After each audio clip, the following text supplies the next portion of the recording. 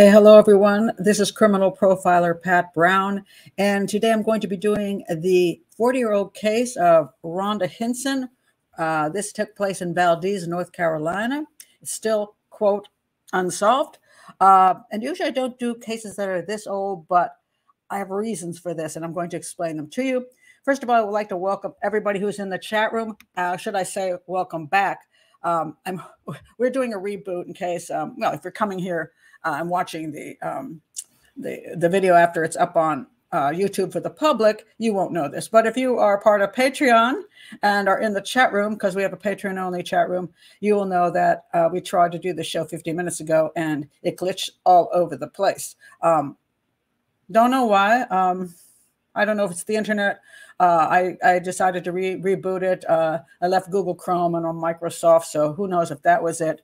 Uh, but it's not because of my age. Everybody goes, oh, you know, you have problems with tech because of your age. I'm like, no, you know, sometimes tech problems have nothing to do with the user. It's everything to do with the platform. And I'm going to stick with that story. So anyway, uh, I'm not going to say hello to everybody again because I just did, but everybody is back. Uh, looks like everybody's back and got their, their notice. So thank you for being patient. Uh, some of you went off and you got uh, popcorn, coffee, and one of you got tequila. And uh, so now you're ready. And I, I don't see any glitching. Do you see any glitching? You know, you can see and hear me. Perfect. Okay. Oh, oh, come on now, Michaela. That's that's so mean. What's a Pat video without tech issues? Yeah, sometimes, yeah, you just have to, you know, this is live and it's totally different than when you're doing these these really really fancy videos you see, these really classy professional videos. Uh, you know how many hours they spend editing the crap out of those suckers? You know, they they they work so hard on them, and uh, they'll like put ten hours into editing. And I have no patience for that nonsense. And besides, I like to be here with you guys. So mine are live, and they come with their blemishes. You know, my face, the show. it is what it is. Anyway, let me do my quick spiel before I get to the case, uh, just in case you would like to be in the chat room with these wonderful people. Yes, uh, you can join Patreon. Link is below. That supports the channel. This is an educational channel, as I keep saying over and over again. Uh, I do not just do gossip. I do not bleed a case. No pun intended, maybe. Uh, with with everything I can anything thrown at the wall so that I can make money. Um, so I stick with crime scene analysis and profiling and people who really want to understand things. I'm not here to solve cases. You're not here to solve cases. You're here to learn. Um, and so therefore, that's why I have uh, an educational channel and this the Patreon only. Oh look, I have a glitch already. My my my. I saw my page was cut off. Like really funny. Anyway, that was a user problem. Okay, I admit. All right. So anyway, it's five bucks a month. There are at least eight lives, four show, 4K shows, and four hangouts a month, and we're it's a really great community. So if you you don't have to do that though, you can just subscribe to the channel. That also supports this educational channel, and that's free. Just subscribe, like, share in a crime crime group if you have one, and keep the channel going. Or you can buy one of my books below. Uh, this one's a, a mystery. I think you really love it, and there's also a little dollar sign you can click for a one-time support of the channel. Okay, that's my spiel. we must stay alive here, so we must do these things. Okay, so now to this case. All right. So everybody who hasn't been here before, wait. I'm just looking at a few comments here, which I'm like, what? Okay, anyway. So 40 year old case. And I actually um, didn't know this case. I'm going to explain why.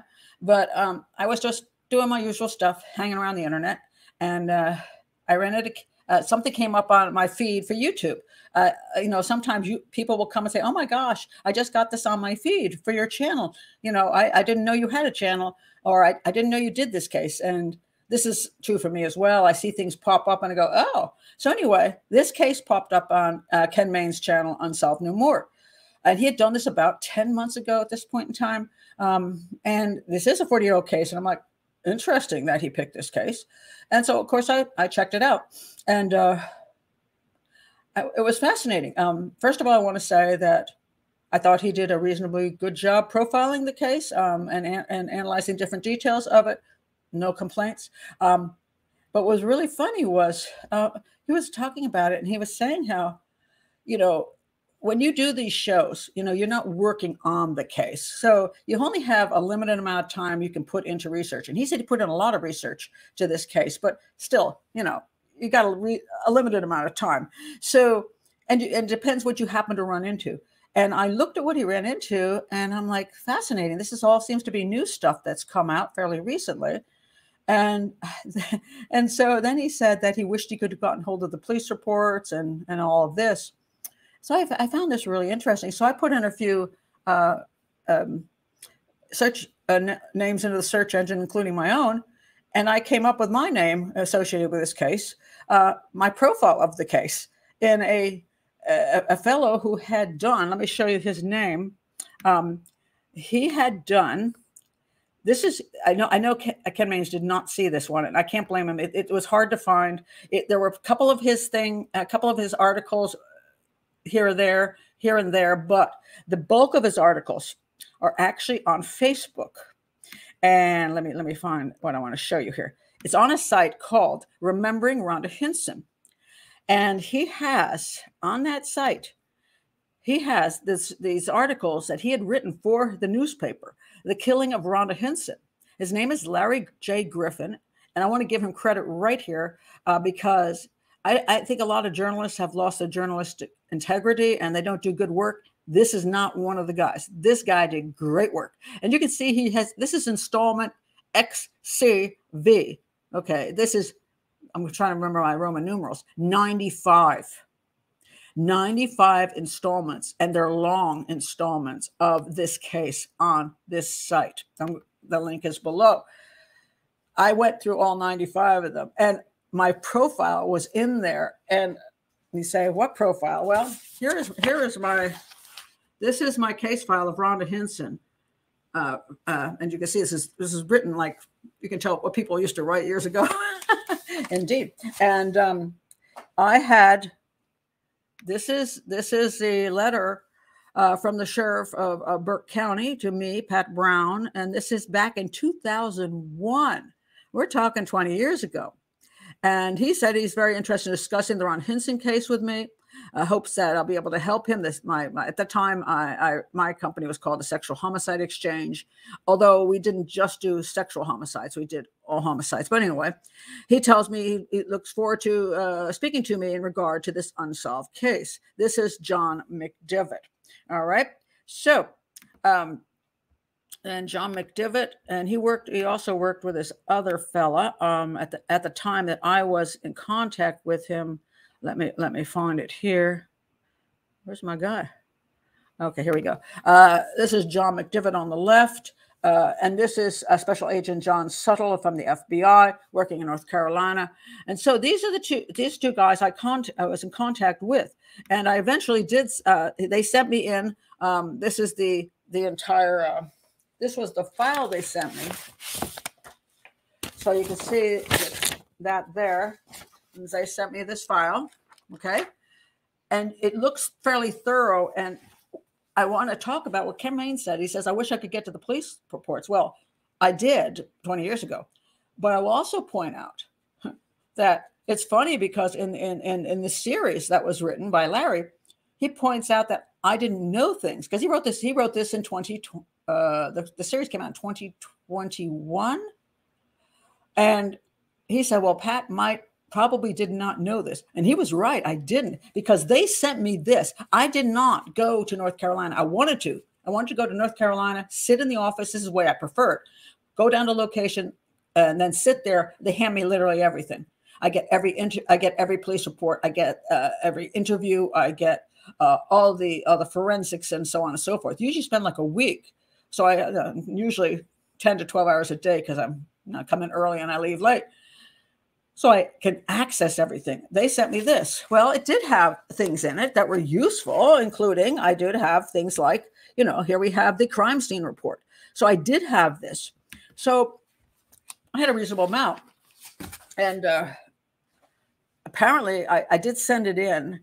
And um, and after that, I didn't hear back. And this is not uncommon with cases. Once they have my report, I don't know why they wanted my report. Was it to get rid of the family from bugging them? Because, you know, hey, you know, it's it's been 20 years and they're still harassing us. You know, um, was it because they thought I might have somebody different than they thought and might help? Maybe they just want me to back up what they said. But I sent it in, then nothing further came of it. I was hoping to go to North Carolina, never happened. Um, but the funny thing about this whole thing was, after I read that I had had this this profile, I could not find my profile. I looked everywhere. Um, I called uh, called Judy Hinson, the mom. Uh, let me show you Judy Hinson, lovely lady, and and she and her husband Bobby. I mean, they they they fought in every way possible to try to uh, get somebody to to to solve this case or to, to move it forward. So this is Judy at the time, Bobby at the time. And I talked to Judy. She's still at the same phone number. So that was kind of kind of cool. I'm like, hey Judy, you're still there. And I said, how, how did how did the Larry get my my profile? I couldn't figure it out because I don't send profiles to journalists. I don't send profiles to families. But it was in this in his his stuff. So and I couldn't find mine. It was driving me insane. I didn't even remember talking to Larry, which really was weird. I'm like, I really talked to him. And the one article I found that wasn't before I found out about the Facebook articles actually said that he had called me and left a message and I hadn't called back. And I thought, well, maybe that's it. I never called him back. But uh, that didn't sound like me. And it wasn't until later that I found out that he had written in a later article that I had contacted him. We'd had a lovely conversation. And I did call call Larry, and we just talked a couple days ago. He sent me my entire profile. And thank you, Larry, because I couldn't find it. I have no idea what happened to it. It's bizarre. And and we talked, and he told me what I had said to him, and I'm like, yeah, that that would be something I'd say. So um, I don't know why I don't remember it. He called me in March of 2020. My son had COVID at that time. He'd gone to the hospital. I don't know if I was highly distracted or I was just had talked to a number of journalists, and he was just one of them. Never thought any more of it. I never saw the article. So when Ken Mains' uh, show came out, I'm like, huh. And then I found out all about uh, this article 95 I mean, 95 installments. Uh, and very, very detailed. But he he did such good journalism. He was able to get a lot of things that one couldn't get 20 years ago or 40 years ago. So when you really want to delve into this case, you can go. Um, the link is below for that. Uh, you can also see something really crappy. Um, really crappy. Oh my goodness. Um, this Unsolved Mysteries with Robert Stack. It's called um, was it called? Uh, unexplained homicide or something? Oh, no, no, uh, unexplained death or something like that. I'm like, what are you talking about? she was shot. You know, we kind of know what happened. That's she was murdered. What's your, what's your, and it's really short and it's really stupid. But you know, if you want a little, um, the, the, the family is in it. Um, they have the facts wrong, unbelievably wrong, and um, but I guess it was a little bit of attention put on the case. Uh, Judy Hinson never to give up. Um, after she contacted me, she contacted other people. She contacted the Vidocq Society, who supposedly also reviewed the case, and she never heard whatever happened with that. It's gone through some different people, and now uh, we can look at this. Cold, cold case lingers after 40 years. Detectives running new data in a 1981 slang. So we have this new fellow. His name is Sheriff Steve. Uh, um, Whisenant. Whisenant. Okay, I don't know who this guy is. He's the new sheriff in town. Um, he's like, hey, we're going to do something about this. We are. We're going to do something. Um, but we've heard that for 40 years. So, I, one of the things I want to do with this show is to show why things go the way they do in cases and why it's very hard to resurrect a cold case, especially in a case like this. Do I believe anything is going to come of this? Um, sheriff saying, I'm going to solve it after 40 years. Unless DNA can prove something, probably not. I'll get to the DNA issue, not the end of the show. So, anyway, here we go. What happened to Rhonda Hinson? All right. All right. So, let me go to Rhonda here. Okay. So, Rhonda, Rhonda Hinson. This is Rhonda over here. Um, as she had graduated high school, she was working. Um, I'm not going to, I mean, I'm not going to go into lots and lots of little details of the case prior to the crime. Um, let's say she was a normal girl, okay? And there's no Wikipedia page, which shortens it. Okay. You know, I love Wikipedia in spite of itself because it's very concise, but there's none. So, anyway, Rhonda, um, she was a normal girl. Graduated high school, was working and was working. She was a hardworking girl. Everybody liked her. She was friendly, da da da. And she was dating this guy named Greg. Now, Greg uh, also graduated. He was going to college. Um, they'd been together about two years. All right. And this is Greg back then, with and without the mustache, I guess. This is Greg today. He's going to play heavily into this case because he's the boyfriend. All right. So let me just give you a very, very short scenario of what happened that night. Okay. Very short. Um, uh, she left her friend's home. She went to a party for work. She left her friend's home. She dr- was driving home. The car was found on the side of the road. She was shot. Dead. That's what they found. All right, that's the that, that's the basics of it. Um, uh, the the shot actually went through the the. Let me see if I can find a picture here. Uh, yeah. Oh no, that's not quite. Yeah, where's where's the one I wanted? The picture. Oh, well, maybe it is that. All right. Oh yeah, you can see. Uh, basically, somebody shot, went through the trunk of the car, and hit her in the chest. Okay, so that's not quite accurate, but there, there we go. That's sort of what happened.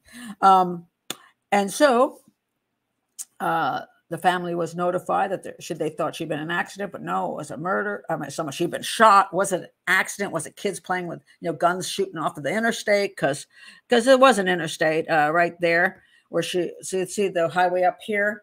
Um, she would have been about here coming up, uh, and her house was this way. Um, and yet she was and she was shot this direction. Uh, so people over here did hear the shots. So some some in the beginning they thought maybe they were standing up here shooting at the car. Um, some kids um, could have been just you know that kind of stupid teenage crap. There there were some a, a variety of theories, but basically she left her friend's house and on the ride home she got shot. All right, so that's the basics. Uh, let me let me just tell you about a few people in the story. Okay, so let's go back here. So a few people in the story are going to be uh, are going to be Rhonda, her boyfriend Greg. Okay, next over here we have Rhonda and her best friend. Okay, uh, and she's going to play a part in this too. Um, okay, so there's her. Here's her best friend and the her best friend and the best friend's boyfriend. Okay, so and uh, but her name is uh, Jill Turner, and his name is this, this always is confusing to me. Jill Turner, and he's Mark Turner. Okay, they're not brother sister. this is not incest here. Okay, um, I think they just happen to have the same last name. Kind of weird, but true. They they were just dating. They weren't married. She ended up marrying somebody else. Okay, but Mark Turner plays an important role here um, in trying to figure out what the heck happened. Okay. So those are some of the basics. And let me show you one more person who's going to play into this. And that is Rhonda's boyfriend, Greg. This is his father, Reverend Charles McDowell. Okay. So Greg lived with a sibling and his mom and dad, the Reverend Charles McDowell and his, his mom. Okay. So those are kind of the basic players. If you don't go for she was shot just driving home. Some kids shot her on the way home. All right. And that and that's really important to understand that it's one or the other. Now let me let me go to uh, I'm going to use my a bit of my profile here um, just to get get you the background of this. Um, hold on a second. Let me find my profile that that my friend Larry found for me. Thank you, Larry, so much. Uh, Really, thank you. All right, so um, where's my pro? Oh, come on. What's going on here? What? Hold on one second. Hey, you know those tech problems? What the heck? I'm going to read you my profile because it just, I swear, I thought I downloaded that one, but apparently. All right. That tech problem is mine. It really is. Okay, let me let me let me go find where I'm at here. All right, so uh, we'll find my profile because uh, I had to download it myself because I don't have an actual physical copy of it. So it's now missing in action. What in the heck? Hold on one second. Oh, here we go. No, we don't. What the world is that? Um, after after I defended myself on the tech issues, now now I'm humiliating myself here. What in the heck is? Oh, here here we go. All right. you know, when you put these shows together, like I, I said, explain. Sometimes you don't have as much time as you'd like because you're not working on the case for for months and all that stuff. You're, you're trying to get a show done for the weekend, and this is one of these. All right, so let me read to you basically what happened. Okay, on December 23rd, 1981. I'm sorry, at, at approximately 1 a.m. It was actually like 12:50. Mind you, I'm, I, I was going with information that they sent me way back when. Rhonda Hinson was shot and killed while driving her vehicle en route from a friend's house to home. The weapon was never recovered. And while there were numerous suspects, no arrest was ever made. The family contacted me to see if we could determine the killer from the list of suspects and to suggest any action the police investigation might take at this at a later date when they and it, because there's no physical evidence now to go to trial with. Okay. And there we have the biggest issue in this whole case she was shot. They got the bullet, but they never got the weapon. And they never, as far as I could see, they never tested anybody for GSR, gunshot residue, which I found phenomenal. Now, they had suspects. So, I mean, some of those suspects could have showered and so on and so forth, but they also had a vehicle. The vehicle had a trunk in it, maybe. They could have tested the trunk of the vehicles. They could have anything they could have done to see if there was gunshot residue someplace associated with a with a, a suspect. But they, I do not find any evidence of that in my report, in the police reports. And when I was looking at Larry's work in the 95 things, I put in I, I put in a search for gunshot residue, and I came up with zero. Biggest mistake of this case. Somebody shot with a gun. What do you look for? Look for the gun. First thing you do, find the gun. If you don't have the gun, you don't have the weapon that commit that the person used to commit the crime. So you have whatever suspects you've got, go look for the gun. Now, it's true sometimes you need a court order, a search a search warrant, and all that. But I can't find anything. Now, again, my records may be what they sent me, but I don't see that they were searching for the gun. I think they're hoping it would just pop up. And this gun thing will be very important in this whole case, obviously, because it is the weapon that was killed, used to kill her. And if they had looked for gunshot residue, you know, that might have helped, but I don't see it anyplace. Um, the suspect list includes a young group of partygoers, uh, some of who had stopped and discovered the car. So there were these these young men, and they called the police. Um, and also some guy had asked Rhonda out for a date, and she refused. Okay. Another suspect was Rhonda's boyfriend, Greg McDowell. That's Greg. And the boyfriend's father, Reverend McDowell. Um, Reverend McDowell, Greg's father, is kind of a, well, shall we say, a creepy character. he was a little handsy. It appears he might have been handsy with Rhonda, you know, and he, he, he was supposed to be a pastor, but he was like uh, a little bit immoral for being a pastor, and uh, ended up divorced from his wife due to that, and lost his church because of his philandering um, and uh, creepy sexual stuff. So, Daddy, yeah, Daddy had some issues, and he and he actually was a strong suspect for for Rhonda's mom, and I'm going to explain why he became a strong suspect for her. She, I've talked with her, and she still believes he could have done it. Um, he's very elderly now very elderly. And it's her biggest fear. We just talked on the phone about this that even if she does think he did it, that the police might say after he dies that not that he confessed, but that evidence leans toward his involvement. Therefore, we're closing the case. Now, before you say, oh, they wouldn't do that without actual proof, yeah, that happens quite a lot. And I, that bothers the heck out of me. I mean, sometimes cases are closed administratively due to the fact your suspect is dead. You're never going to go to court. And you do believe he did it. But in my opinion, if you're going to tell the public that, if you're going to tell the family that, you should at least tell them what evidence supports you closing the case down. That nobody else could have done it but this particular person. So I say this to Judy, Judy Hinson, I hope you're not right, uh, because first of all, I don't think he did it, but also if they do think he did it, they I don't want them to close the case down just because they think so, and also don't want them to close the case down when they don't think so. But it would be expedient, um, and just to do that and not provide any evidence, and just finally say, "Look, we, we've done we've done our job, um, and we can can't do anymore." I'm concerned about that. But anyway, that that's Daddy. All right.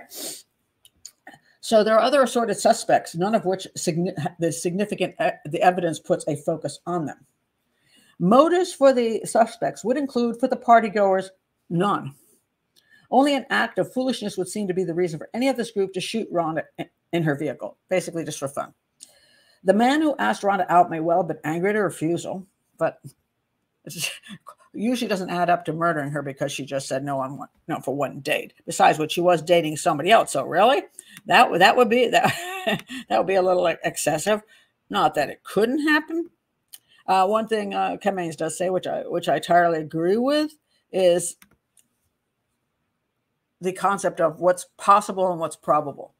It's possible that this teenager shot shot her. It's not probable due to the evidence.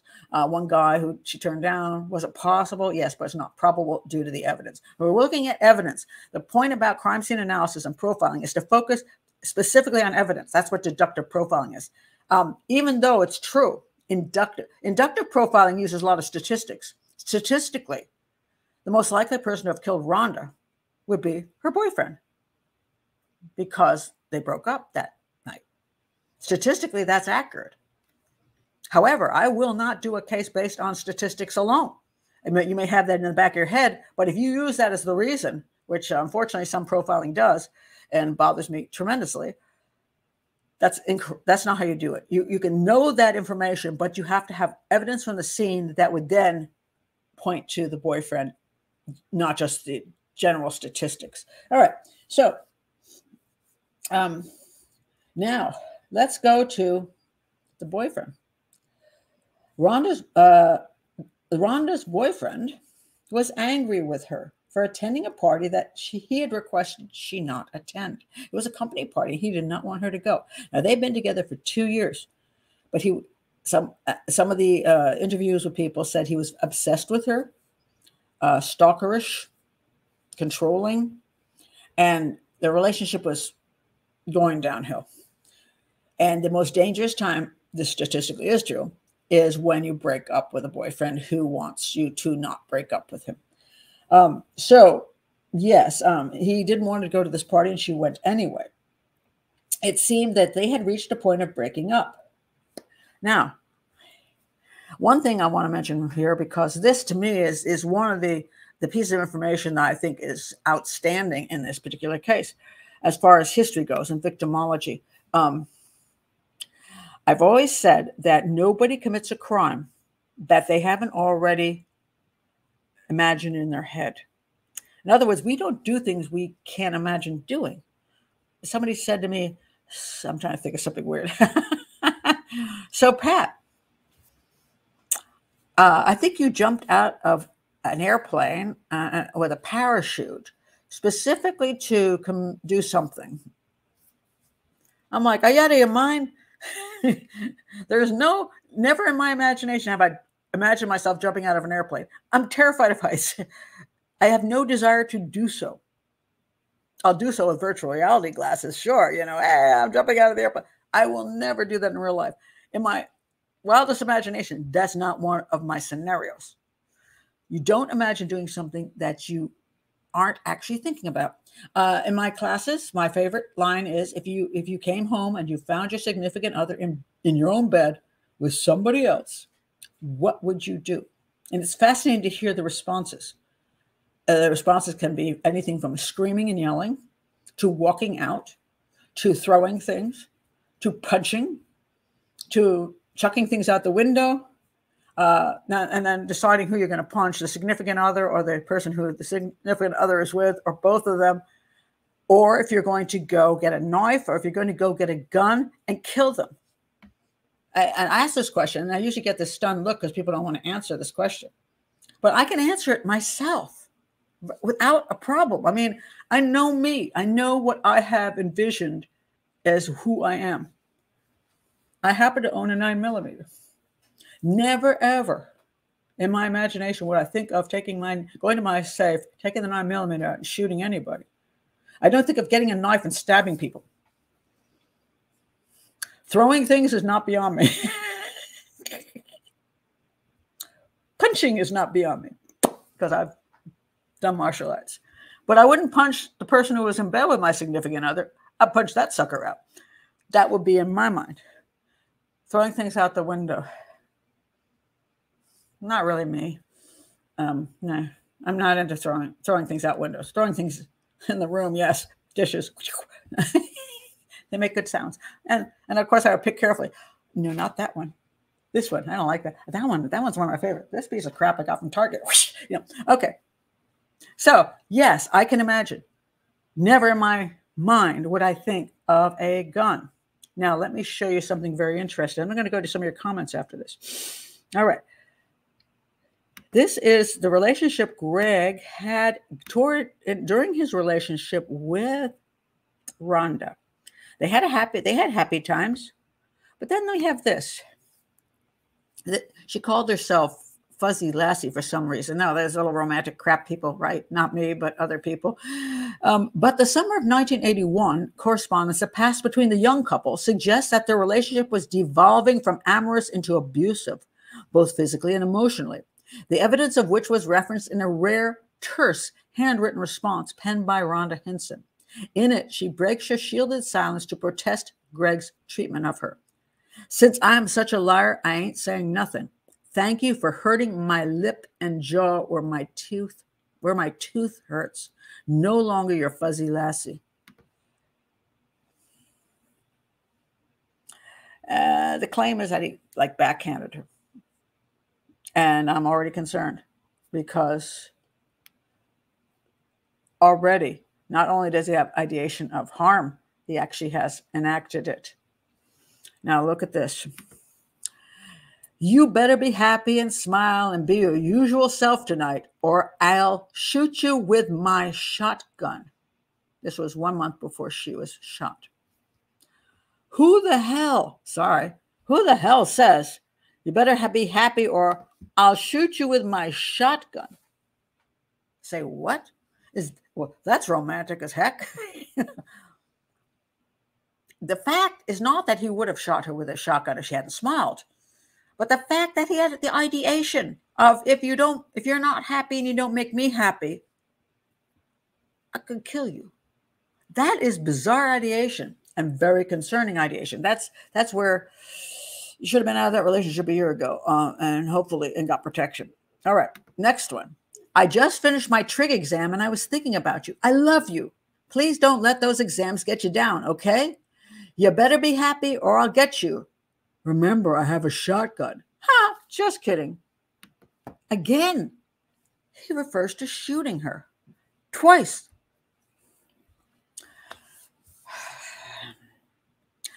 That's concerning ideation. Ideation always comes before action. There's nothing you do that you don't think about before you do it. I don't care what people say. I don't care if it's five seconds before you did it. You thought about it. Otherwise, you wouldn't do it. The, the, the, the, the, the picture went through your head and then you done did it, you know? So this is highly concerning to me.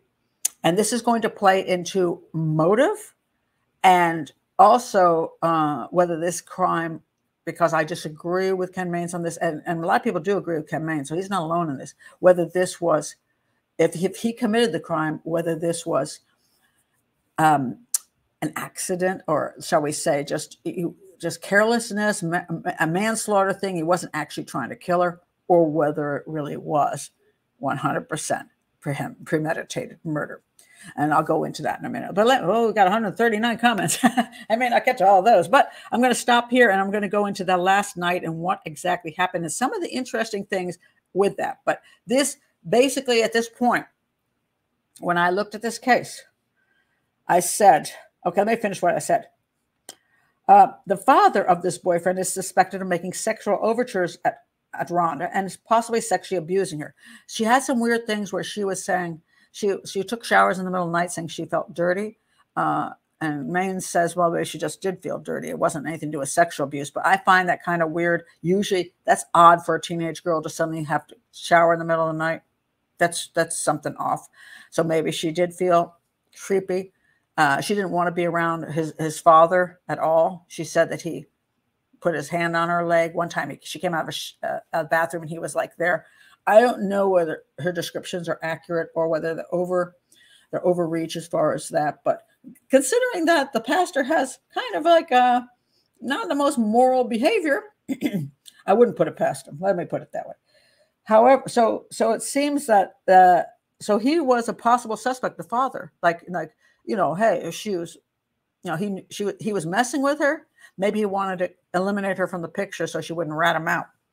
Um, so it came down to really to the, the, the son and his daddy, um, the pastor. All right, so um, I, point, I wrote this. The father of this boyfriend is suspect, suspected of making sexual overtures at Rhonda and possibly sexually abusing her.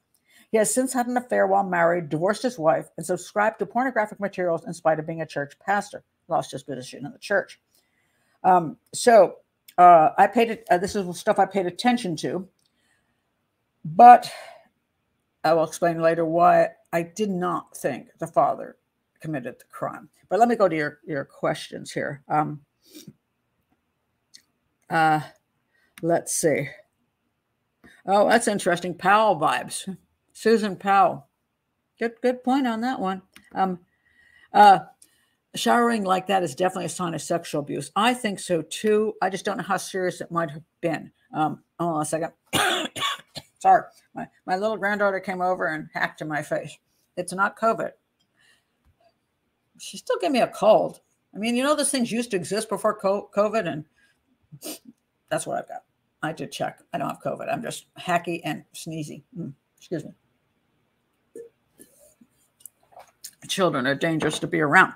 Um, um, so, um, oh, um,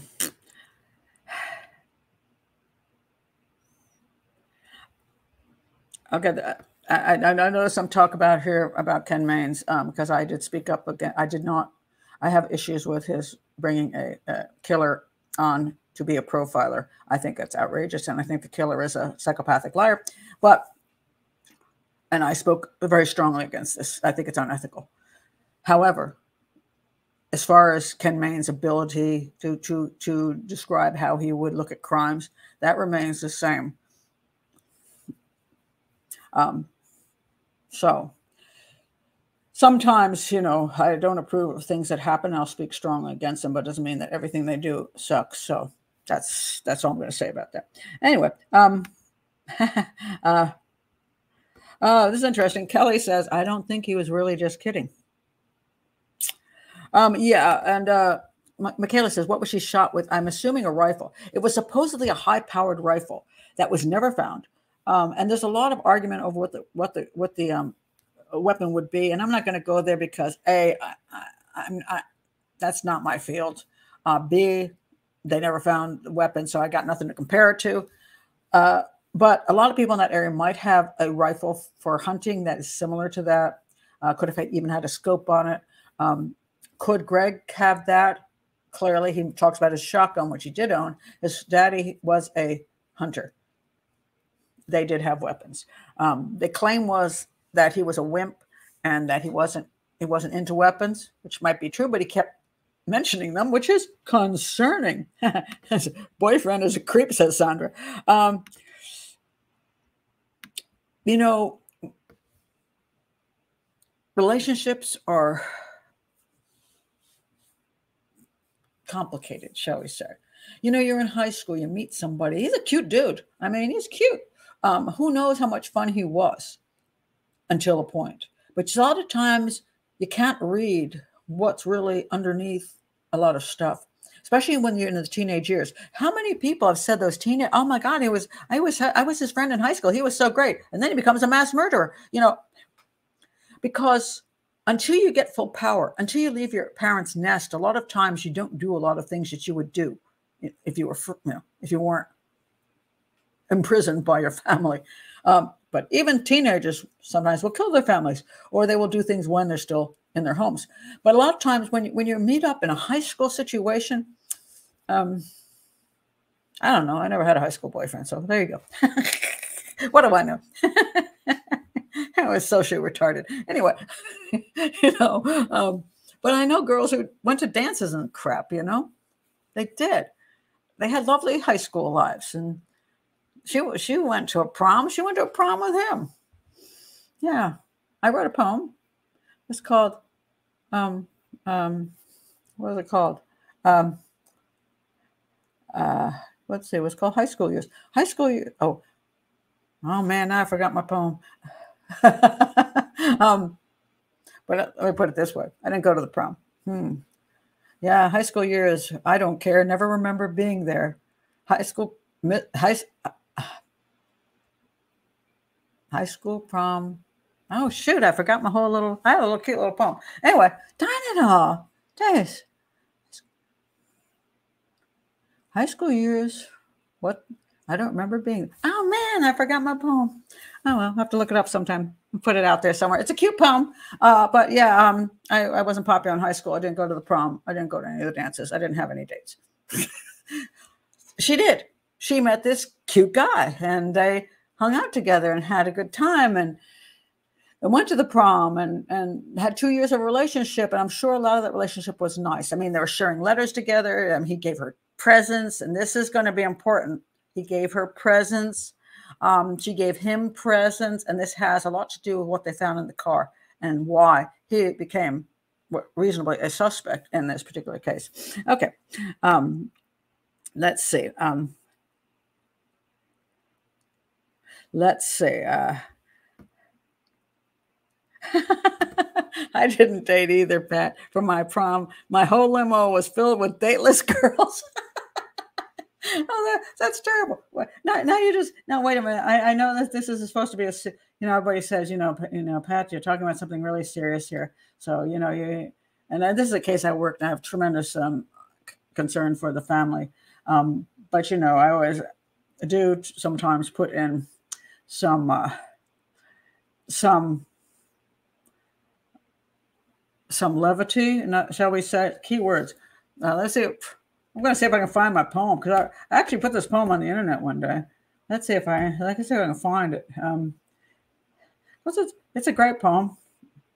Let's see. Yeah, bloody heck, I'm not going to find it. Oh, high school union. That's how it started. I was wondering how it started. High school union. I don't care. Hardly remember being there. Missed the prom. Had no dates. No ex love to castigate. Yearbook pages. Specious land. Never touched by you know, yearbook pages, empty land never touched by specious hand. High school reunion, I don't care, hardly remember being there. Something like that. I can't find my real poem. But you know, some of us didn't do well. but you know, this is the whole thing. When you're young and you're, you know, you're in high school and you, you meet the guy and he's exciting you know, and he and he says he's not a bad looking dude. So you know, it's like you know he's cute and cuddly and you know everything's cool. You, you know, you're dating. I get it, you know. Well, maybe I didn't get it. didn't get anything. But anyway, I get why she and Greg had this relationship. But unfortunately, we don't recognize sometimes as a teenager uh, what we're dealing with. And she, you know, over time, the relationship was going downhill and she was having issues with him. But how bad were they? You know, which what would she recognize? The fact that he was saying, "Hey, I'll shoot you with my gun," she's probably just tossed off as just silly talk, which is what people do. They take things that are concerning, but they don't know they're concerning because you know you're a teenager. Um, even the even adults might not recognize that that is concerning ideation. They would just say, "He's just he just he just he just throwing stuff out there to to make you know, whoo, I'm going to scare you," you know, ha ha ha it's really not funny, but they don't get it's not funny, and that he's really thinking this kind of thing. He will not take a breakup very well. That she is his, and and and and she can't go someplace. She can't walk away from him. um, she can't not do be the be, she cannot not be the woman he wants or the girl he wants she must be happy. She must please him. She must be with him. Uh, this is this is what he's saying and he has many letters that sort of you know, promote this whole kind of concept. Um, i want to see what uh, maria has to say. It's like paranoid people being stalked. The hardest case is to solve. A creepy violent jew can lose their ex-girlfriend to murder without him murdering her. Statistics are not always right. Well, that can be true too, but I mean, so yes, I, am not quite sure what you're trying to say, but could he not have done it? Yes, he could be saying things and something else could happen to him. That is very true. So uh, the police have to do due diligence.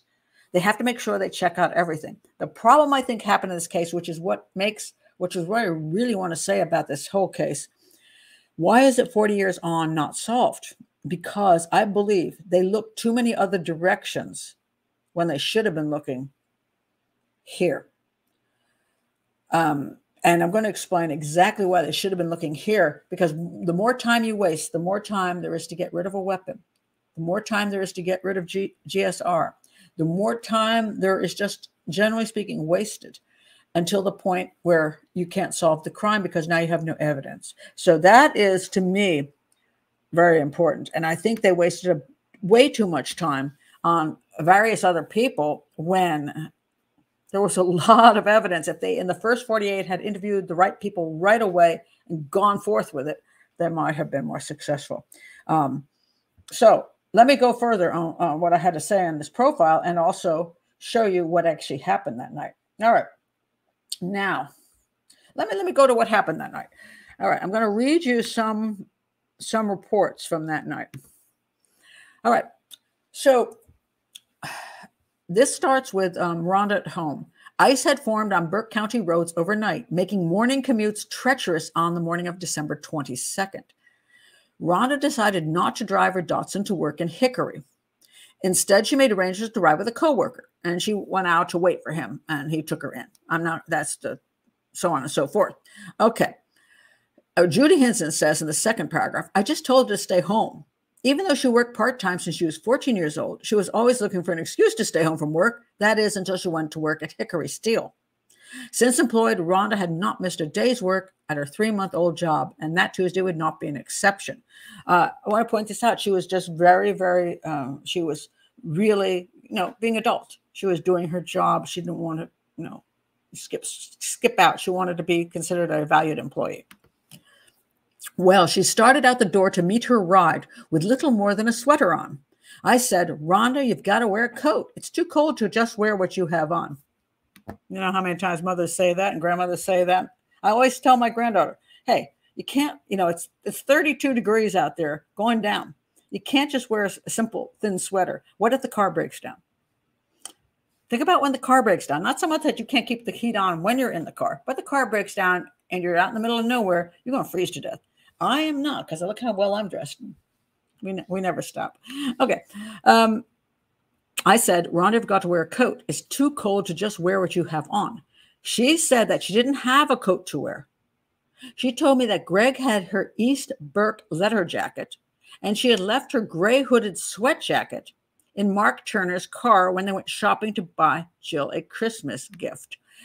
These two items become very important. First of all, although they're they're I, I still don't quite understand if it's a freezing cold day why we why you would consider um, these pieces these pieces of clothing particularly toasty. You know, um, I, I, still think that that's not enough, but then that's just me. I think that's hardly anything that's going to keep you warm.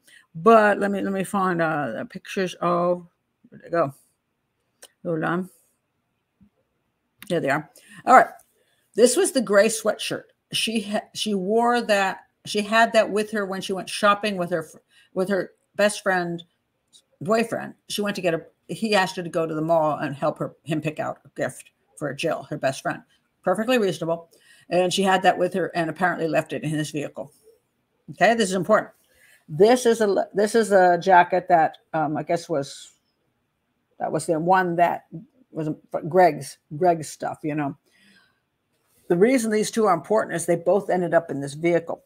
Right here, right here, white, this white thing is actually this gray sweatshirt, and this blue jacket was in the back seat on this side of the car.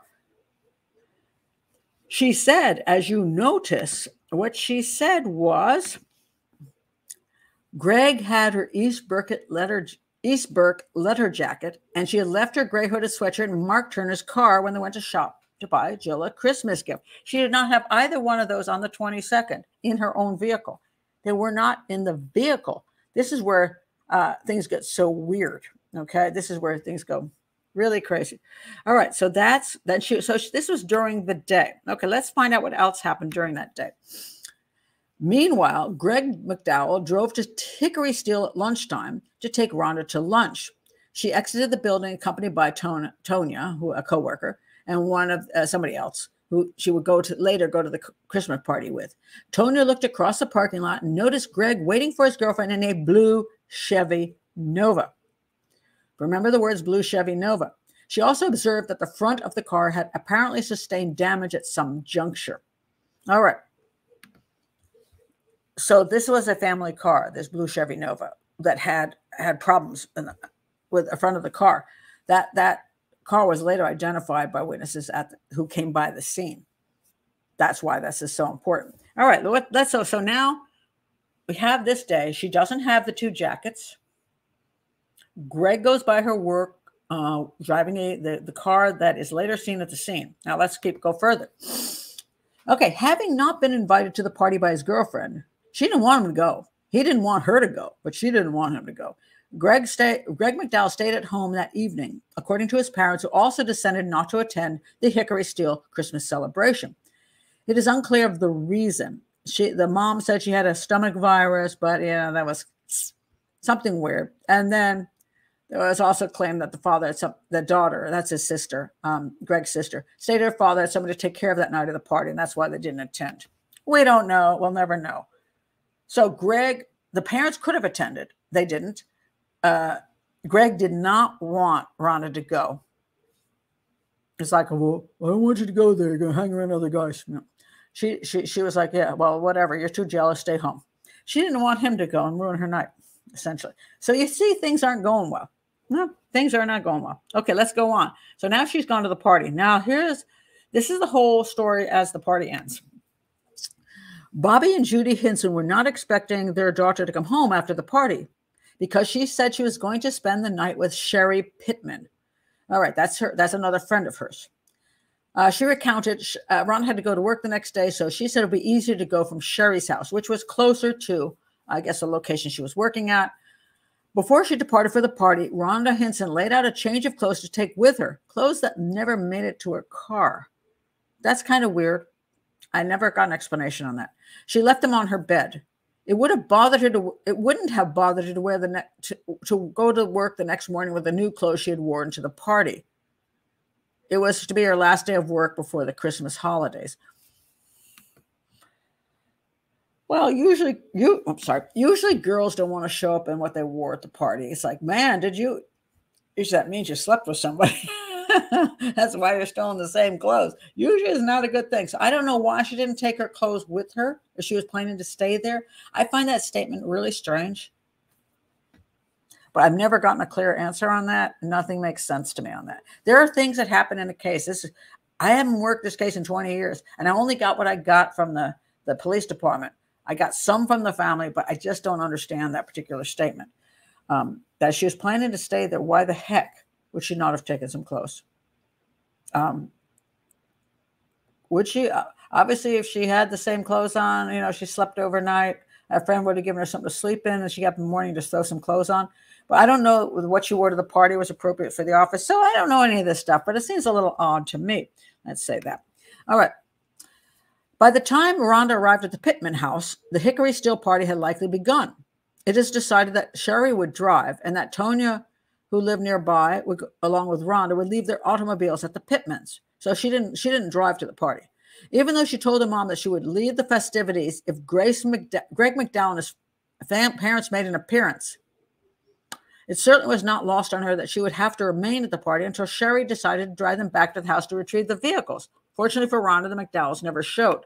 Again, we have this weird thing where she, like, is for whatever reasons, avoiding the hell out of Greg and his family and his parents, wouldn't want to be there with them. And yet she has no way to get out of there. So we got a lot. Of, I don't know. It's a confused teenager, or there's something. Something just is. We're not being told. All right. Now, meanwhile, anyway, meanwhile, back in Valdese, Jill Turner Mull. Now, Jill is her best friend. Awaited the arrival of her boyfriend, Mark Turner. The couple were going to drive back to his house to spend the evening. Dinner and a movie were on the agenda. However, Jill had to return home by midnight. I was only 18 years old, home from college, and still living with my parents. I had no car, but I still had a curfew, 12 o'clock midnight. Ms. Turner Mull explained that during an initial uh, uh, the interview uh, was like a li- way, way, way, way later. Uh, after we ate, we sat down to watch a movie and fell asleep. Okay, this is important uh, because Mark Turner had this, had the jacket supposedly, and it ended up in her car on that night. So a lot depends on Jill. Jill has Jill is, is Rhonda's best friend. I don't know if she has reason to lie, but I don't know how well if she's remembering things properly or she I don't know. But she says that she should have been home at 12, but they fell asleep. And she the 12 o'clock hour passed, which gives him makes it a little bit later for him. So let's go on. All right. Also, okay, so now we're talking about Ms. Pittman. Let's go back to the, so Jill's over there with her boyfriend. 12 o'clock has passed, they've fallen asleep. Jill's in a different location. I'm going to explain why it's important because of this this jacket up here that you're looking at over here. This one.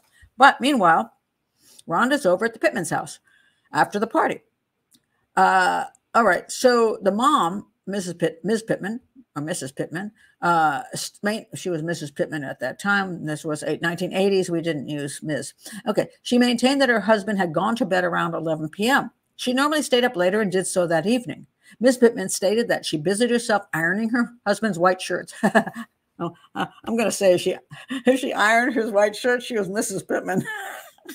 Sorry, couldn't help myself. All right, a task that took 30 minutes or more to complete. Mr. Pittman, you had a great wife because, man, you know, I, I was married to a Jamaican for 25 years, and the most horrifying thing happened after we divorced. None of my clothes were ironed properly because I never was a good ironer. I was like, I'm done. And then my husband would go, You're going to wear this? No. And he would iron every little nook and cranny. Jamaican men are good at ironing. Ah, I miss that. I do. Now I just have to let them try to dry in the dryer and the dryer and go, I hope it's okay.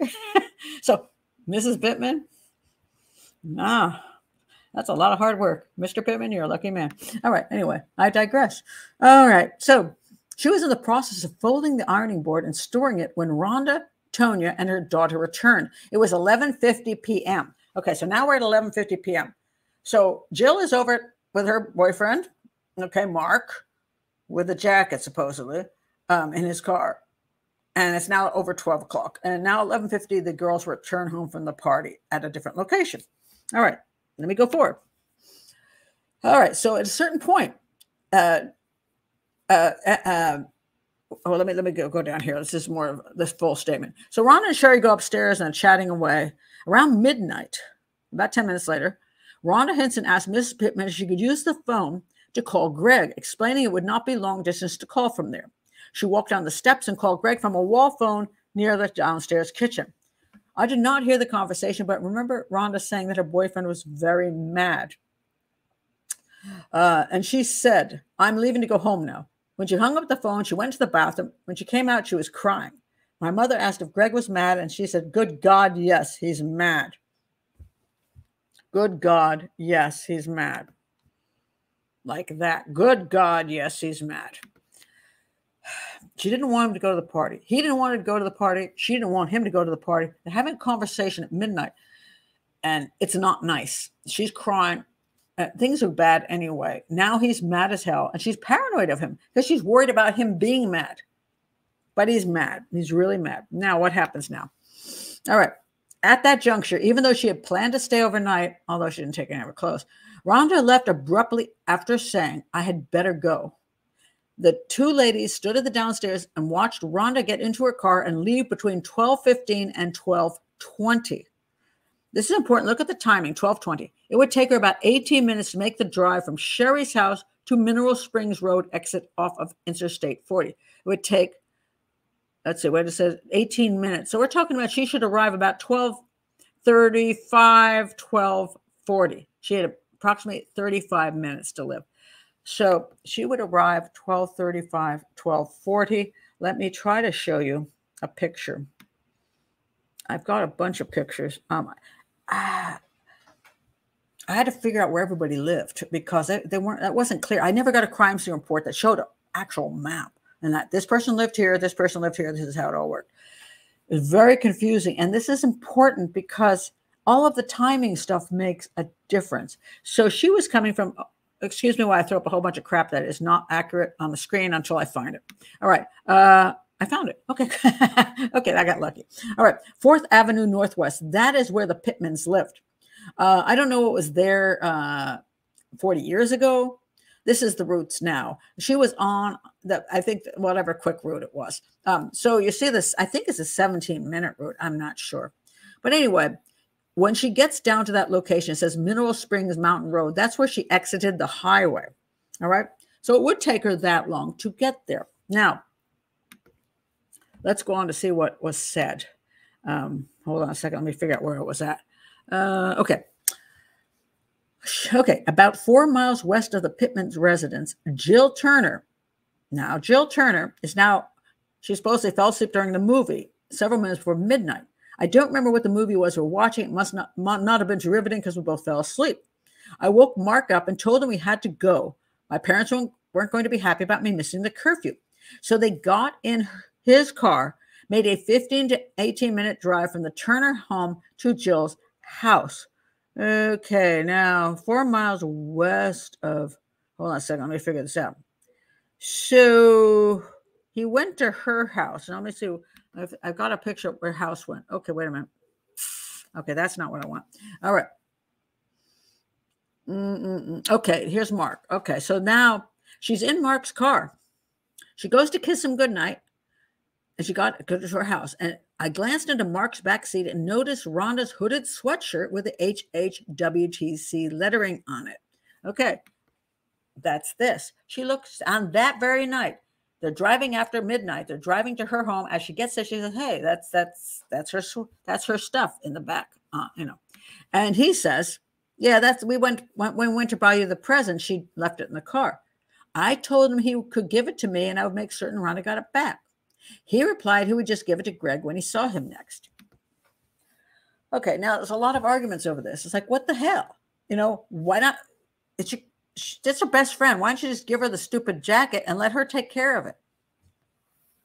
Why do you have to wait to give it to Greg? Now, I find that bizarre myself um, because usually a guy will be happy to get rid of crap that women are dealing with. You know, it's like, yeah, give it to your friend. I don't want, I don't want. I don't want to deal with it anymore. Hey, cool. Why did you want to have to give it to Greg? I do not know. It could just be that he was planning to see Greg sooner and he just thought, I'll just give it to Greg. I, I don't know. And here's where we have to st- be careful that we don't start imagining crap. But the important thing is she claims, Jill claims, Rhonda's best friend, that that was in his car on the night that she was dropped off right prior to the murder of Rhonda Hinson. And this becomes one of the biggest mysteries of the whole thing. Okay, so let's go forward. All right. Mark left the Turner Valdese residence, traveled down sloping Hazel Street. Okay, and paused at the stop sign prior to making a left hand turn onto Mineral Springs Mountain Road toward the interstate. it's approximately 12:30 a.m. All right, I had to do a lot of mapping here. All right, let me see if I can find it.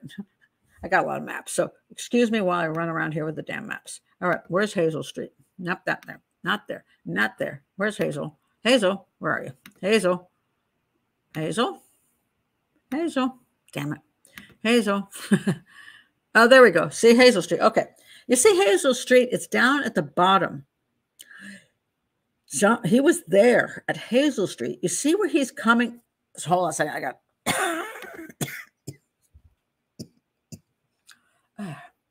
rain or shine. You got to do YouTube show. Even when you're sick. Okay. Okay. Let's go back to Hazel Street. So now Mark is on Hazel Street. It's right at the bottom. He turns left on that the um, Mineral Springs Mountain Road. He comes to now. What you really want to pay attention to is see the interstate is right there. He's there about the same time. Rhonda is coming through that location. And also, possibly, Greg is coming through that location. Now, this is where things get kind of tricky. Uh, and, I, and I say this because people don't realize how much effort goes into trying to analyze crime um, so that you don't understand what's really going on. All right. Rhonda is coming home from her friend's house down here. She comes to this location. If she turns right, she's going up to her. This is where her parents live, right here. That's her home, right here. She will be coming down here, down the interstate, get off on this intersection, and turn right to go to her home. Let's go back to. Hmm, so confusing. Oh, as a matter of fact, here's a good picture. All right. She will be taking this exit all right, I just showed you that she would be taking the exit. This would be her at the stop sign. She would go this way to her home. If you notice, the interstate is on her left at that point. There's a car under there. And then there's a reason for it that somebody saw a vehicle under there, a blue vehicle that looked like Greg's vehicle. Okay, under there. She would be coming off the interstate here. She should turn right to go to her home. But does she? Meanwhile, on the other side of the interstate, let me go to the other side of the interstate. No, that's not the picture. Other side of the interstate. Okay, so if you look up there, um, if you see what that 40, oh, what is that? The 40, whatever that 40, I guess 40 sign. If you see that little 40 sign, that's where she would be get off the interstate coming from her friend's house. She would be then turning right. She'd be coming off the interstate you see that that in the middle and right in the middle, you'll see where the, see where the bridge is there, the, uh, or, or, you know the overpass. Um, that's where she came up to the stop sign. She would turn left to go into the underpass, which is where you see the the car that was blue, or she would go right toward her home. Okay, now, uh, her and and meanwhile, her her friend's boyfriend was down at the bottom on Hazel Street he'll be turning left. You see how everybody's coming to that overpass. Greg Greg's vehicle, or one that looks like Greg's vehicle, shall we say, was under the overpass. Uh, and you, you, you have um, her best friend's boyfriend coming on Hazel Street, turning left toward the overpass. Meanwhile, Rhonda is coming down 40 and getting off that exit, getting to that stop sign where she should turn right to go to her home the question is, does she or does she turn left to go to the underneath the overpass to meet Greg? See how complicated this is? All right. Now, let me see if I can explain all of this to you. All right. Let me, I'm trying to look back on my, uh, on my profile. Uh, okay, hold on. Let's see. This is what I wrote on my profile 20 some years ago. Okay. Uh, yeah, 20 years ago with, with limited information, mind you. Okay. She was going home, supposedly. She, Greg was, uh, uh, he was pissed at her. Okay. Um, she stopped. It appears she stopped. Now, she did not. Now, there's a theory that she just stopped at the stop sign and kept up the road when somebody just shot her for no reason from way back there without doing anything. But the problem is in her car, there were many items found. Items that both that Greg had, along with that blue, that blue, that blue jacket, right? And the white, the gray jacket, which is really odd. So she stopped and they those items weren't in the vehicle before she went to the party so how did they get in her vehicle so and there's a 15 minute gap when she leaves um, her friend's house. She should have just turned the corner and been home earlier, but there's a 15 minute gap here, and people saw this vehicle here on the wrong side of the road underneath the um, the highway, the overpass. Now, it was a kind of a rainy, crappy, cold night. If you were going to meet somebody, where would you meet them on a rainy, crappy, cold night? I would do it under an overpass. Now, I do not know what was on the other side of the overpass because this was on the wrong, this car's on the wrong side of the road. Is there no room on the other side to pull over? I do not know. Uh, so, did this person pull over to this side because that's where you pull over? And then, in this case, if she were meeting someone, she would go down here and pull over right in front of that vehicle. That's what I believe happened. Now, listen to what I have to say. All right. Uh, she had rolled the, the window was halfway down, which means she rolled the window down, which is a rainy night. She would not have rolled the window down. And it was, by the way, one of these old timer things, you know, if she, unless she was talking to somebody. And then there were things that appeared in her vehicle on top of her normal stuff, which means somebody gave her something, which the things that they wanted to return to her, I would think. All right. She wouldn't have stopped. This is this is dark outside. It's a rainy, dark night. Why the hell would she stop under pull into this location and stop for anybody but someone she knew? All right, so here's what I wrote. All right. Following this, wait a minute, what my logic? It says follow my logic. Okay. Uh, all right. Um, I have a bit about trajectory of the bullet. I think I want to get to that later. So anyway, somebody shot her. So following logic, I said, following what I told the police, for some reason, Rhonda rolled rolled down and then rolled up her window. Although it was uh, when I was told it was all the way up, but it was apparently halfway up. There's reasons for that too. For uh, she was not wearing her seatbelt. This is interesting. She's driving home, and she's very very. She's one of those girls that does what the right thing to do. She gets here. Why would she take her seatbelt off to just drive home? No, she took her seatbelt off because she went down here. Now, if you roll your window down, why would you take your seatbelt off unless you got out of the vehicle? I believe she left the vehicle. Nobody talks about her leaving the vehicle. I believe she did. I believe she rolled the window down and somebody said to her, Hey, let's talk, blah, blah, blah, blah, blah. Come and get your crap or whatever. She got out of the vehicle. That's why her seatbelt was not on. And this is very important to exactly what happened. All right. Now, let me read what I have to say here. Okay. Uh, um, she was not wearing a seatbelt. And for some reason, okay. So she stopped on the road, side of the road for some reason at one o'clock in the morning. This fact eliminates a stranger homicide. She's not going to stop for no reason at all, unless it was like a flashing lights for a police officer, but I just don't I believe that happened. She wouldn't have stopped at one o'clock in the morning to talk to a stranger. This eliminates also the possibility the shooter was standing there with a rifle at the bottom of the ramp. Uh, Rhonda would hardly have stopped to talk to an individual armed with a noticeable long gun. She's not an idiot. Um, therefore, Rhonda must have stopped to talk to the known individual who did not exhibit a gun at the time she stopped and conversed with them. So, whoever she met with over here was not like standing there with a weapon, you know. This is very important because it shows how things went down. The fact Rhonda stopped to talk to someone can account for the window being rolled down and up or partway up. It does not account for the seatbelt being off unless she got out of the vehicle. Since it was raining, it is somewhat unlikely she would have chosen to get out of the vehicle in the rain.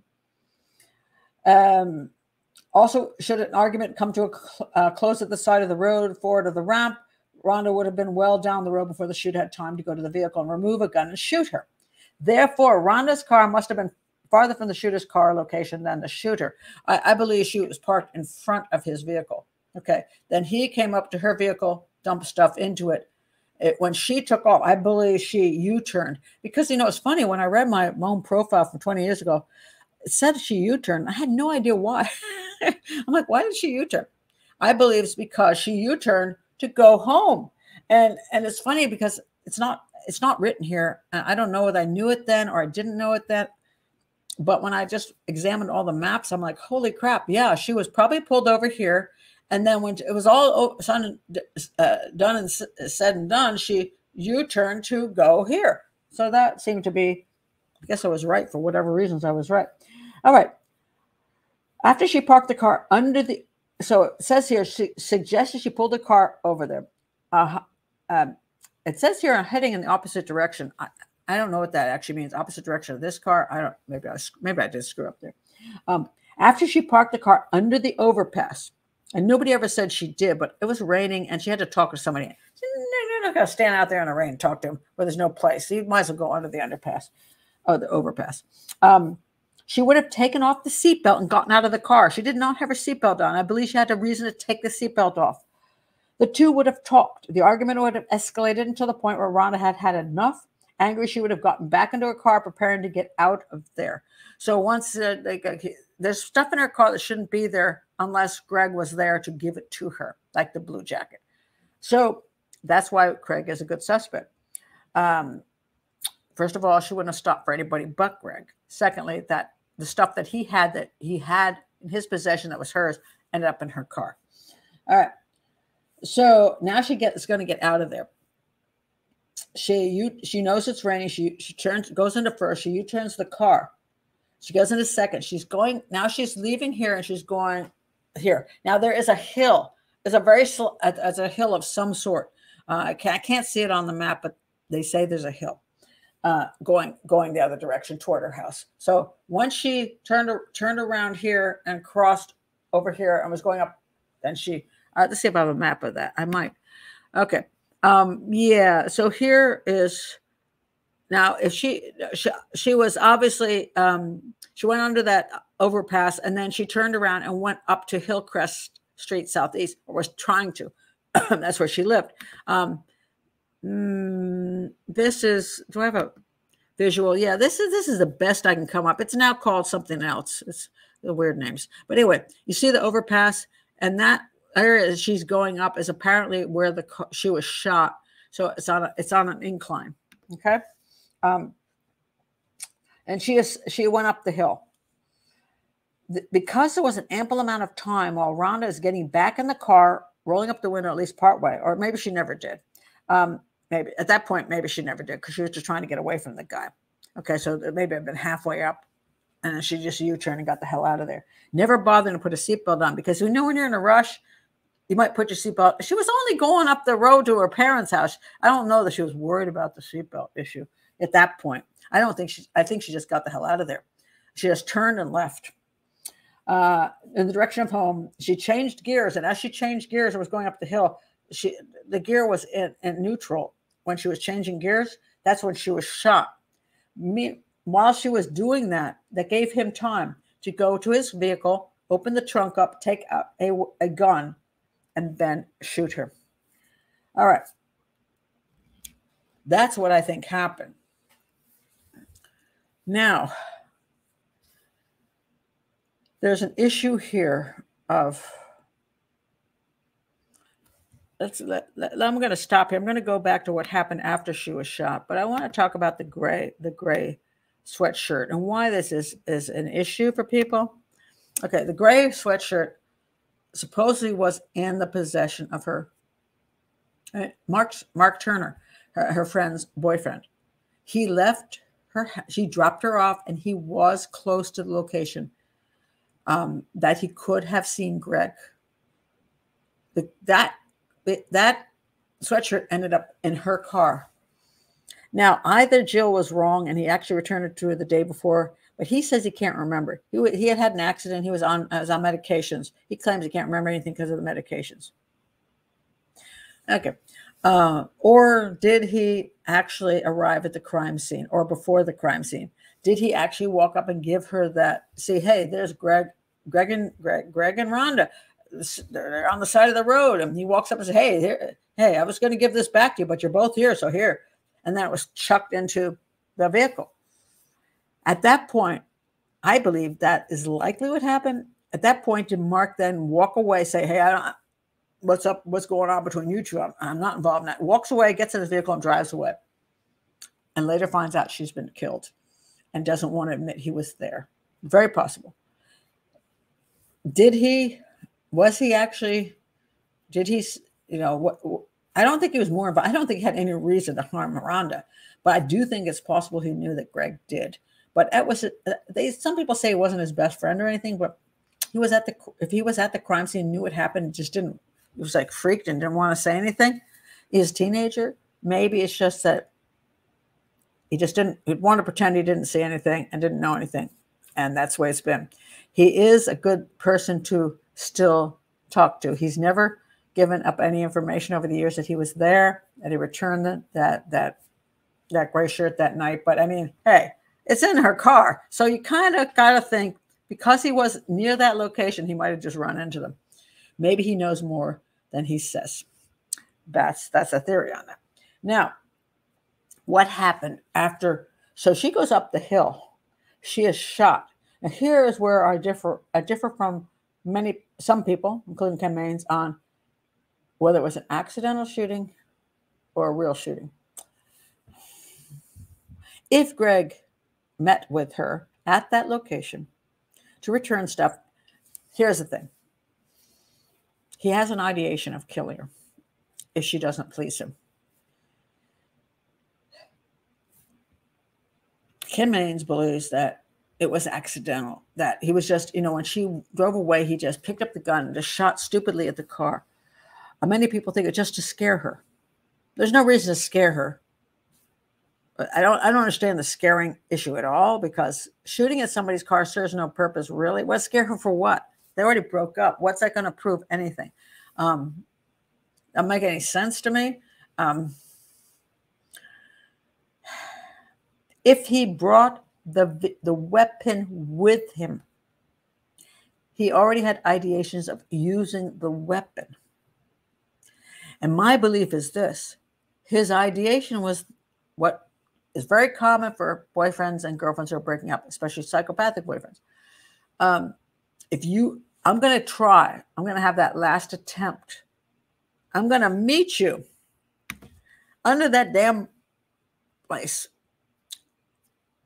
And I will give you back your crap. But what I really want you to do is say, I don't want it back. I'm sorry. I made a mistake. I love you. I'm not going to, I'm not breaking up with you. And if she does that, all is good. But if she doesn't do that, if she really walks away from me and says, I don't want you, that's not going to happen. If I can't have you, no one can have you. You cannot walk away from me. So you bring the gun as backup. You'd hope you never have to use it because you want to get together back together with her. You think she's going to give in because she's always given in. And then she doesn't. And you are pissed. You go back and you grab your gun and you say, I warned you. And you shoot at her. Now, I don't think for a minute he shot at the trunk of the car. Okay, let's look at the picture of the, uh, the trunk of the car here. The theory is the guy shot straight at the trunk of the car. What? To just scare her? Whatever. Heck no. She was going up a hill. My belief is he shot at right at the back window, intending to kill her. And, and now, mind you, he wasn't a sharpshooter. He's an idiot and he's a teenager. You know, a lot of people think that, you know, he couldn't have done that because he wasn't capable. No, he thinks he's capable. He doesn't even think at all. I mean, he's not clear thinking. So he's like, I'm gonna, I'm gonna, I'm gonna take her out. He pulls his gun out. He shoots at the back window, but the car is on an incline. By the time he shoots, because it's quite a distance and he's not a sharpshooter, by the time the car gets up here, he shoots it. He does hit the trunk of the vehicle. In theory, he just missed. He meant to shoot her in the head, but would he have been successful? In reality, probably not, because he's not that good. But people people do stupid stuff and they intend to kill the person. I'm going to kill you. And they miss. Normally speaking, he would have shot and she just would have driven away and he would have missed. Because it was on an incline, and he, I believe he was aiming at the back window at her head. Because why else, you know, I don't believe he's shooting at her trunk to scare her. What's the point? That's just nonsense. He always said he would kill her. He would kill, uh, shoot you with my shotgun.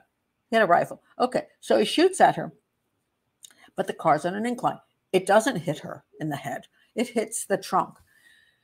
And by just bizarreness, it ends up shoot, you know, going through her heart. Now, some say there's a ricochet, blah, blah, blah, but this is very hard to figure out exactly the technicalities of how the bullet went through the car. He, I believe he shot at her head. Not, whether he thought he was going to be successful or not, I don't know. He wasn't successful at hitting her in the head, but he hit the trunk because that's where the car was going and it happened to kill her. Now, the, the car then she's in she's in she's tra- she's she's trying to go down to a third um and she's going through neutral and she gets hit at that moment. So car doesn't go into third so it goes into neutral. So after she's shot and incapacitated the car just rolls back into the ditch. Okay so now the car is in the ditch. All right let's look at the car in the ditch okay see the car in the ditch it's kind of like this now what's important about this is there one of the witnesses says, besides seeing the blue vehicle, says he sees a man looks about the size of, of, of Greg, um, and also um, about his height and with about his hair color, standing by the vehicle. Now he thinks somebody's drunk and they just ran off the road. He sees a woman kind of like laying, leaning over onto the door, but he thinks she's just drunk and just drove off the road. Now, when the police get there, the guy's gone. When the police get there, the door is open. The, not the, the driver's side door is open. And Rhonda is lying on the ground in the ditch with her head up against the tire, back tire. Now, I did not know this when I uh, when I did my analysis. So one of the things I said was that because the car was like this, if the guy went there and opened the door, she was laying on the door and she would pitch out. I still believe that's true. She would pitch out. I did not know she was lying up against the tire, which means somebody had to move her a little bit and lay her against the tire. Uh, there's some statement about her arms being out, some pose bullshit. That's just nonsense. Um, guy might have picked, pulled her up against the tire. Now, this is very important as far as him grabbing her under the arms and putting her against the tire because there's a DNA issue on that. But right now, we got her being put up against the tire. Why? Was the person trying to save her life? Was the person just as stunned that he had done such a thing, which wanted to know if she was alive or dead? Or was he wanting to make sure she was dead? Three options. If it was Greg, if it was Greg who shot her, intending, in my opinion, to kill her, even if he sucked at it and, it was unlikely, but still. And then he sees, oh my God, the car backs off and falls in the ditch. He goes, Holy crap, I hit her. He doesn't know that went through the trunk. He's not that bright. oh my God, did I hit her? Now, the next thought is, in my opinion, if I had done that, maybe I have a criminal mind, but I would think, how do I know she's dead? I just met her, gave her shit back to her. And now she's lying with a gunshot wound in her on the side of the road. She's going to rat my butt out. I'm going to go to prison. I might well go and check, open up that door. She falls out. I pull her up, grab her, put her up against the thing, and look at her and say, Is she alive or dead? Oh my God, she's dead. okay, I'm out of here. If she had been alive, would have finished her off? Because she could rat him out. We'll never know because she was dead on contact. Uh, but I strongly believe that the intent was shoot to kill.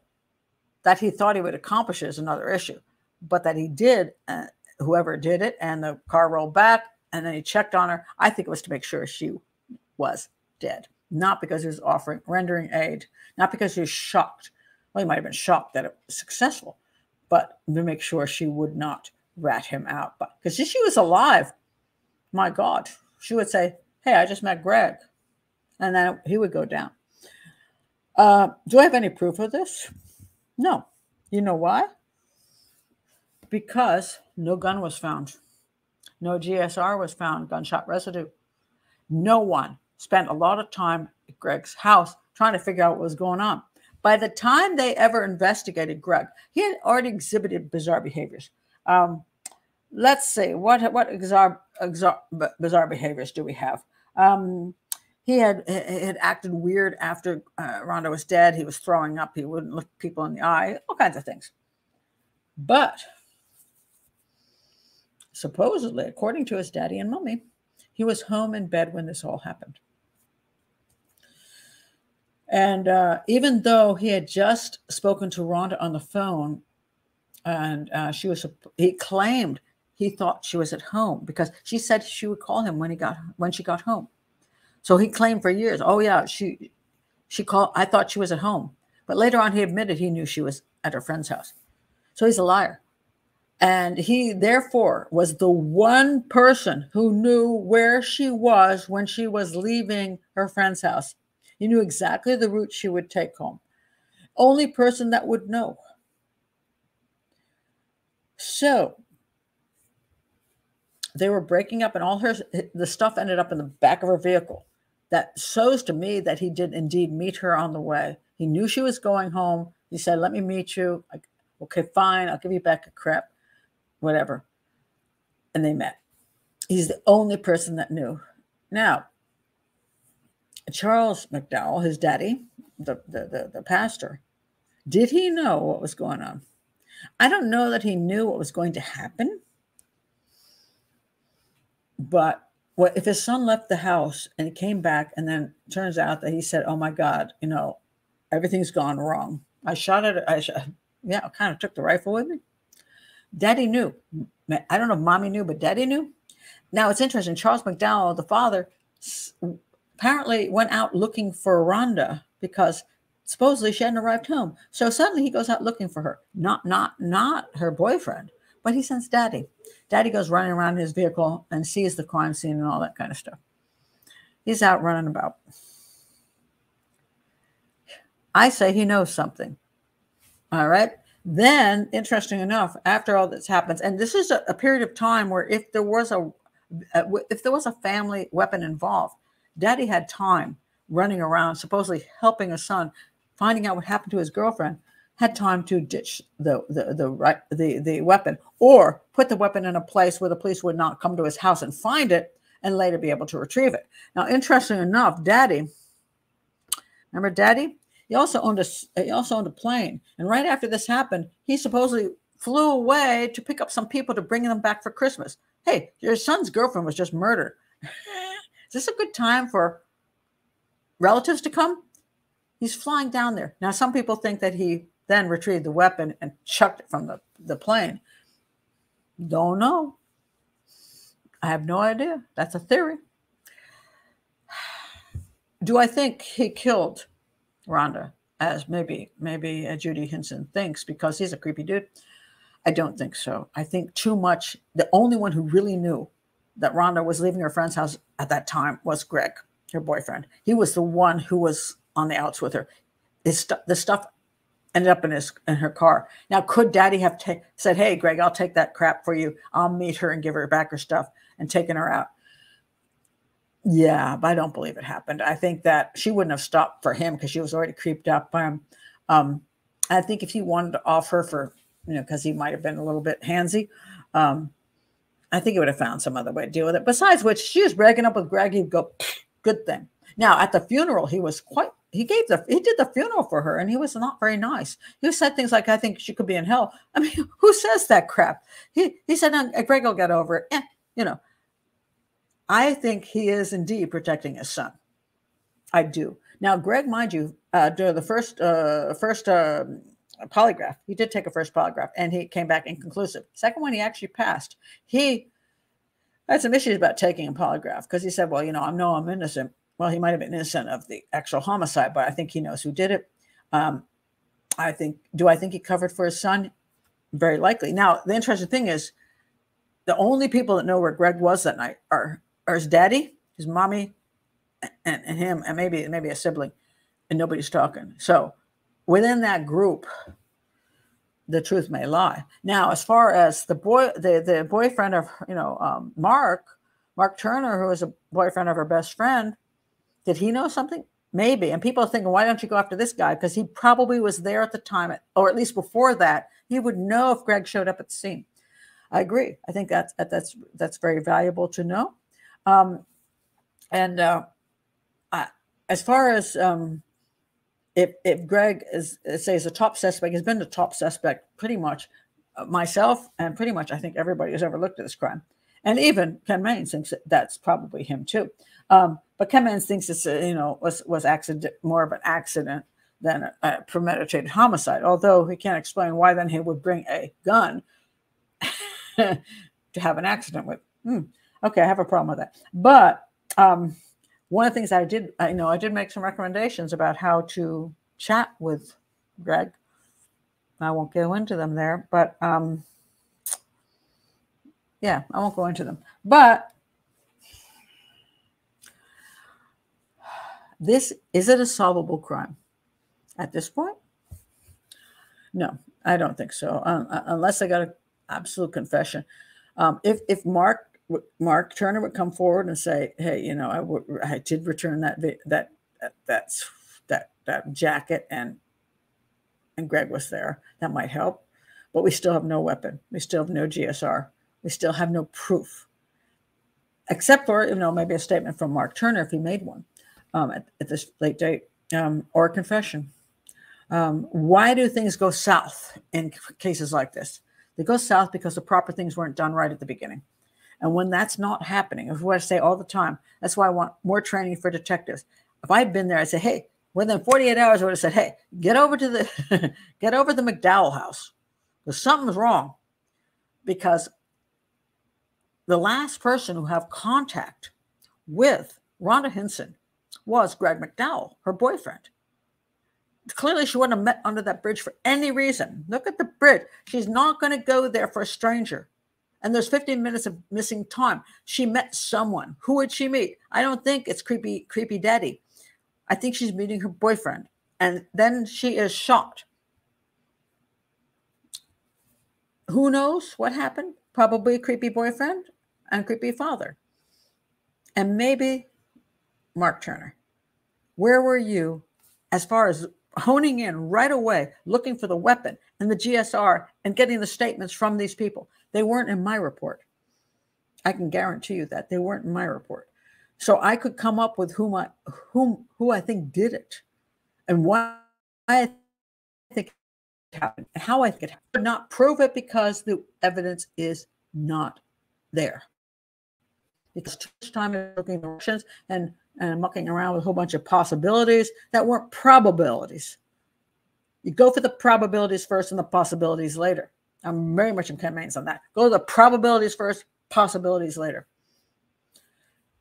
And if you don't do that, you know, you got probabilities of 95% and you waste your time on 5% of possibilities, you the, the evidence is going to disappear on you. So this is this crime. I, I you know I look back at the Hinsons, talking with Judy Hinson just recently. 40 some years. Let me show you a picture.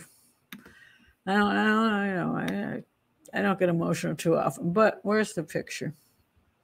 Oh ma'am, I don't. Uh, did I write that? Oh, the picture's not here. Okay. Um, they've kept her.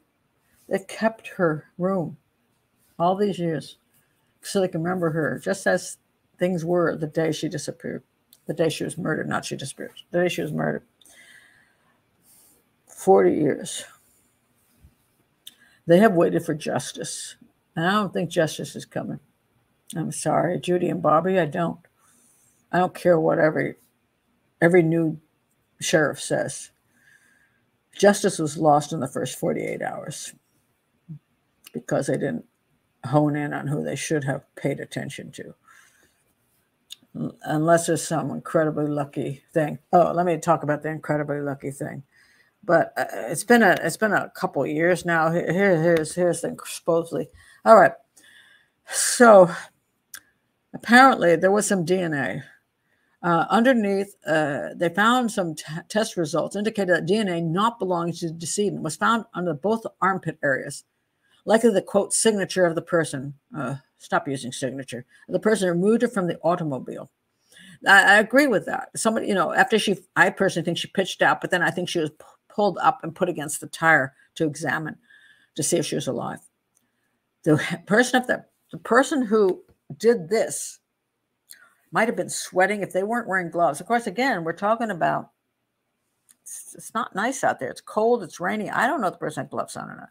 But if they had just their hands and they moved her, Their DNA might well be under her armpits. There would be DNA. And the new sheriff was like, hey, I'm going after this. Nothing has come of it. And I wonder when did this happen? When did they get the DNA? 2007. It was, the Rhonda Hinson sweater was was sent to the lab. They indicated there was DNA not belonging to the decedent. 2007. I, we still don't know whether any of the McDowells, Greg McDowell or his daddy, ever DNA'd to see if it matched. I don't have any information on that. 2007. This is 2000. I'm sorry. What, where are we at? 2023. I forgot where we're even at. 16 years later, still got nothing. That's possible. There's simply nothing in the DNA that matched anybody. So you know, it could. So it's going to. I don't know. They said there was something that wasn't wasn't Rhonda's DNA there. Well, she was at a dance.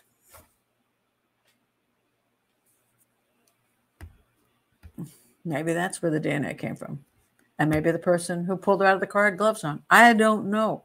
But I'm going to say this in 2023. I don't have a lot of hope. I don't. Uh, and, and, you know, people like to keep saying there's hope, but you know, I always think hope lies with proper training back when in the first 48. It does. That's where hope lies. Don't, don't, don't. I mean, I understand where the family is always going to have hope. And Judy and Bobby are always going to have hope. It's their daughter. To them, their daughter is still that young girl, just graduated from high school was coming home that night, and she's not. Because I don't think it was handled properly back in the day. And by the time I came into it in 2000, what was it, 2001, I could give my opinion, my profile. So what? They went, geez, we think she's right. so what? Never heard from them again. They never published it um, until uh, until Larry did. I mean, I didn't myself, I forgot I even gave it because that's the way things work. Okay. I'm getting emotional now. All right. Let me let me check your comments. All right. All right. All right. Let's see what you have to say. Um, uh, I'm going backwards now. Uh, deathbed confession. Well, you know, if I were Charles McDowell and didn't commit the crime and were dying, I would admit I did the crime. Why not? I get my son off. My son could then live the rest of his life because he's in his 60s now. But that doesn't mean it's true. People think death, deathbed confessions are true. They're not necessarily true. They're somebody's explanation of something. And you have to put that with a grain of salt as well to see why they're giving those deathbed confessions. And too many people think every death, deathbed confession it has to be 100% true because the person's about to meet God. Oh, God, get out of here. Get out of here. And no, it doesn't have to be. Um, Kelly says she talked to Greg on the phone, then immediately had to leave to go. He told her to meet him. I would think so. I mean, there is no other explanation why the stuff got into her car and why she would stop in the middle of the night at that location. Absolutely not. Um, has Garrett gotten into trouble since? No, but he's apparently been married a whole heck of a lot of times. So I'm going to say he doesn't do well with women. Um, when you talk about, oh, let me let me point this out. Um, when you're talking about a situation where it's a situational crime, um, even if you look back at, uh, uh, thinking of Drew Peterson, Drew Peterson killed most they're theorizing two of his wives and attempted to kill a third one. Okay, so Drew Peterson was he a serial killer? If he killed more than one of his wives. Now they've never proven he killed more than one of his wives. He's in prison for one, but you know the the, the third one vanished, and the second first one says he tried to kill her. so excuse me again. Um, is he a serial killer? My Answer is no, he's not a serial killer. He's a situational killer. He has no intention of killing anybody until the situation arises where he finds that they're getting in his way. Again, my statement on psychopaths you're either useful or you're in the way. As long as you're useful, I could be married to you for 20, 30 years. And then you got in my way. Now you're, now I'm going to knock you off. So there are situational killers. I would think if Greg is guilty of this crime, he's a situational killer. There are many guys who have killed their girlfriends, wives, or women have killed their boyfriends, husbands, and they haven't committed that crime again because at that the the the, the, opportunity or the need to kill never never appeared again. So they were like, I'm good. as long as they get what they want. So no, has Greg ever been in trouble? As far as I know, no, but I think he's been married. I think I was told five times, but I don't know the accuracy of that. So he may not do well with women, but he hasn't had a reason to kill them. And also, he's grown up. Now, I can't say that he committed this crime. I'm just saying, of all the suspects, he certainly comes up top. Um, let's see. Um, let's see. Uh,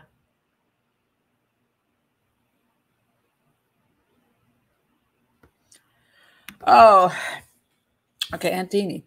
Rhonda wouldn't make the accusation she didn't about her boyfriend's dad if it wasn't true.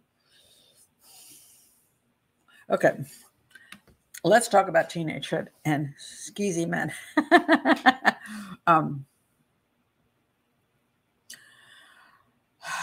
yeah, they're out there.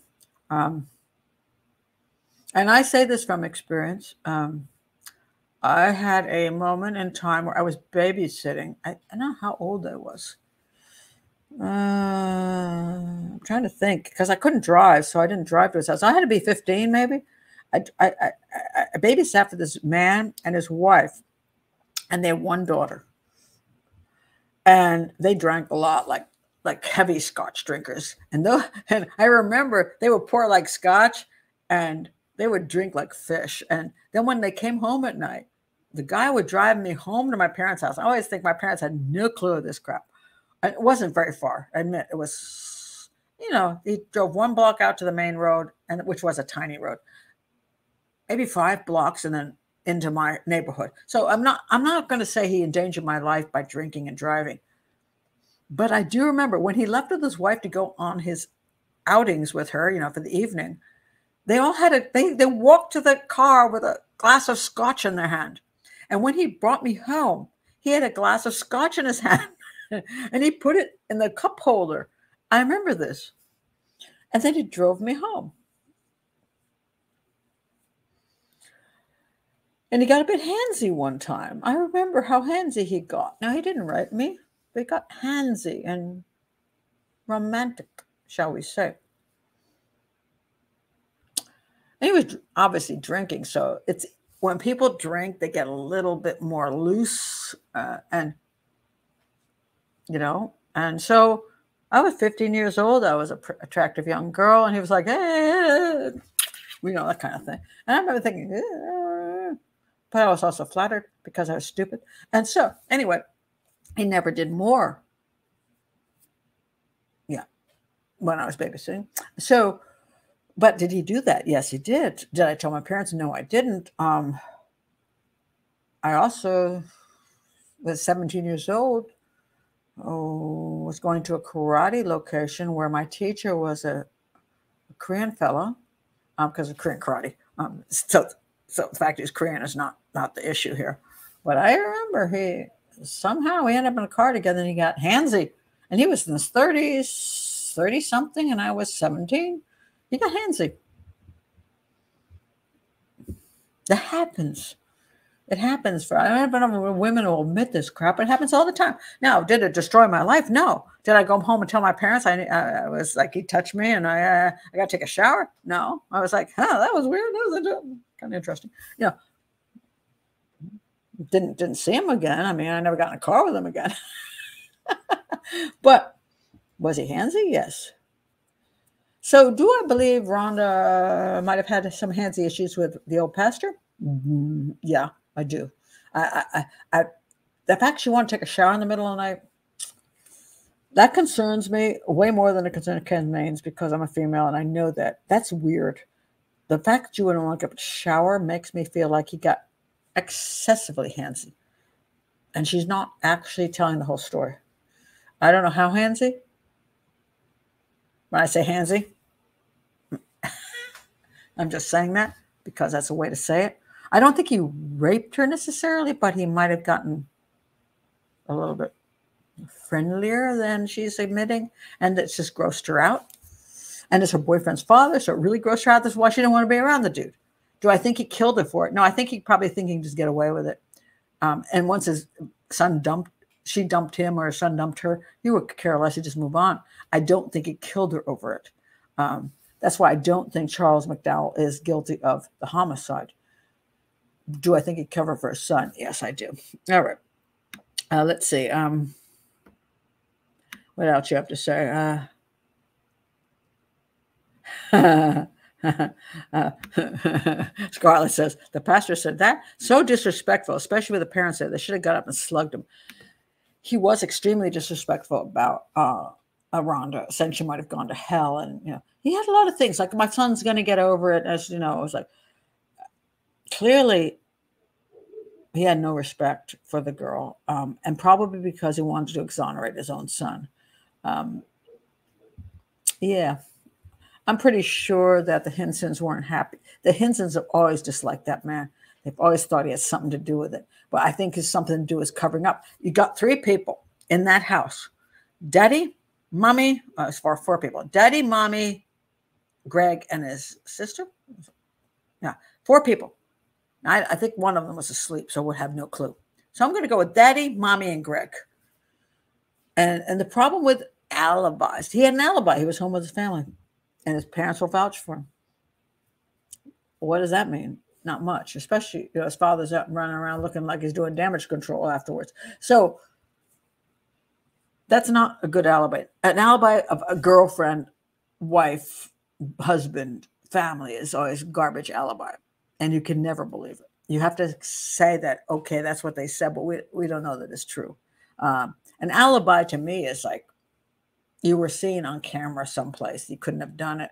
Uh, that kind of alibi. You were out of the country. You couldn't have done it. But when you say, I was home with my family, that's meaningless. Absolutely meaningless.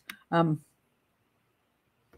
oh, that's interesting. Uh, Midgie says, I reckon the creepy pastor mentioned hell at her funeral in, in, in spite because she rejected his advances. May well be true. He may well have not appreciated the fact that she didn't appreciate him. This is very true. Um, let's see. Um, Marie says, "Was it was it as planned as Mark being in on it?" I, I, I, in no way do I think Mark Mark Turner was in on it.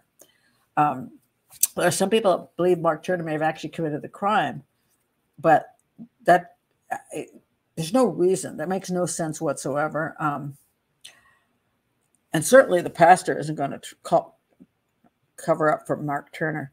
Um, that he may know what could have happened, or maybe he knew did happen, and he just didn't know how to speak out about it. I believe, but no, not in no way do I believe that he committed the crime himself or was in on the crime. He had no reason to want to harm Rhonda at all.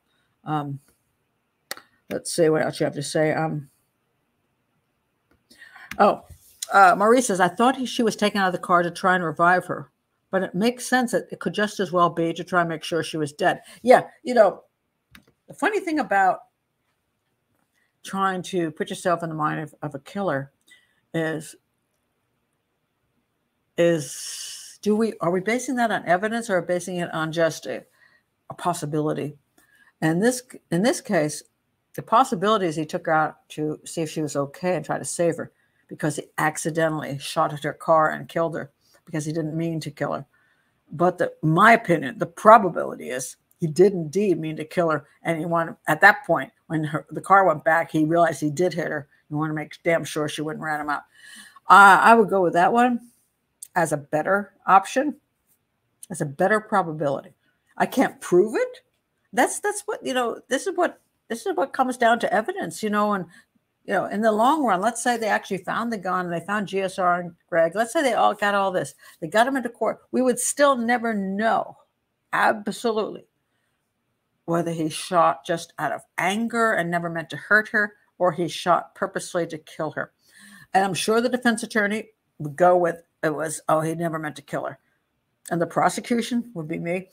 and I'd say, the guy had a gun with him. The, the gun wasn't accidentally with him. The gun was with him in case she never she refused to come back. And the fact that he had the gun with him, walked back to his vehicle, took the gun out, and shot at her when she was going up a hill when he probably shot at the window and miscalculated shows to me it's a premeditated homicide. I will go with murder one. And I'll stand by that. That's what I would do as a prosecutor. um, let's see. Um, let's see what you have to say. Uh, Marie says, Pat, are you saying that the idea that someone shoots to scare someone is just an excuse? That they will, in general, want to kill some, kill the person? Um,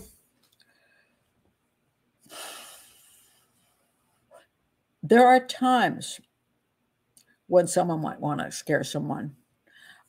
But I don't see that this makes any sense at this time. That that's my problem with it. It's like, what's it going to scare about now?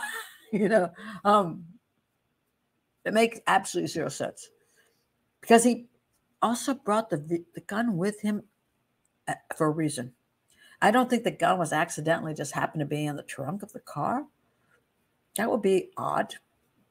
So I believe he brought it with him with the purposes of she better stay with me. She he said that before. If you don't stay with me, I will kill you. If you don't smile, I will kill you. He's that's his ideation. Now that he thought he would carry it out, I don't know. You know, we have if people people have ideations that may never be carried out. But then again, they might be. How do we know which way it's going to go? And how do they know which way it's going to go? The problem a lot of people have with uh, violent crimes is they say, well, they could have walked away, they could have made a different decision. Well, they could have, but they didn't. In that moment, they made their choice. And if they had the time to think about that choice, and he, if this was Greg, he had time to walk back to his vehicle, open a trunk, take out a weapon, and shoot. He had time. That's premeditated homicide. Um, let's see. Uh,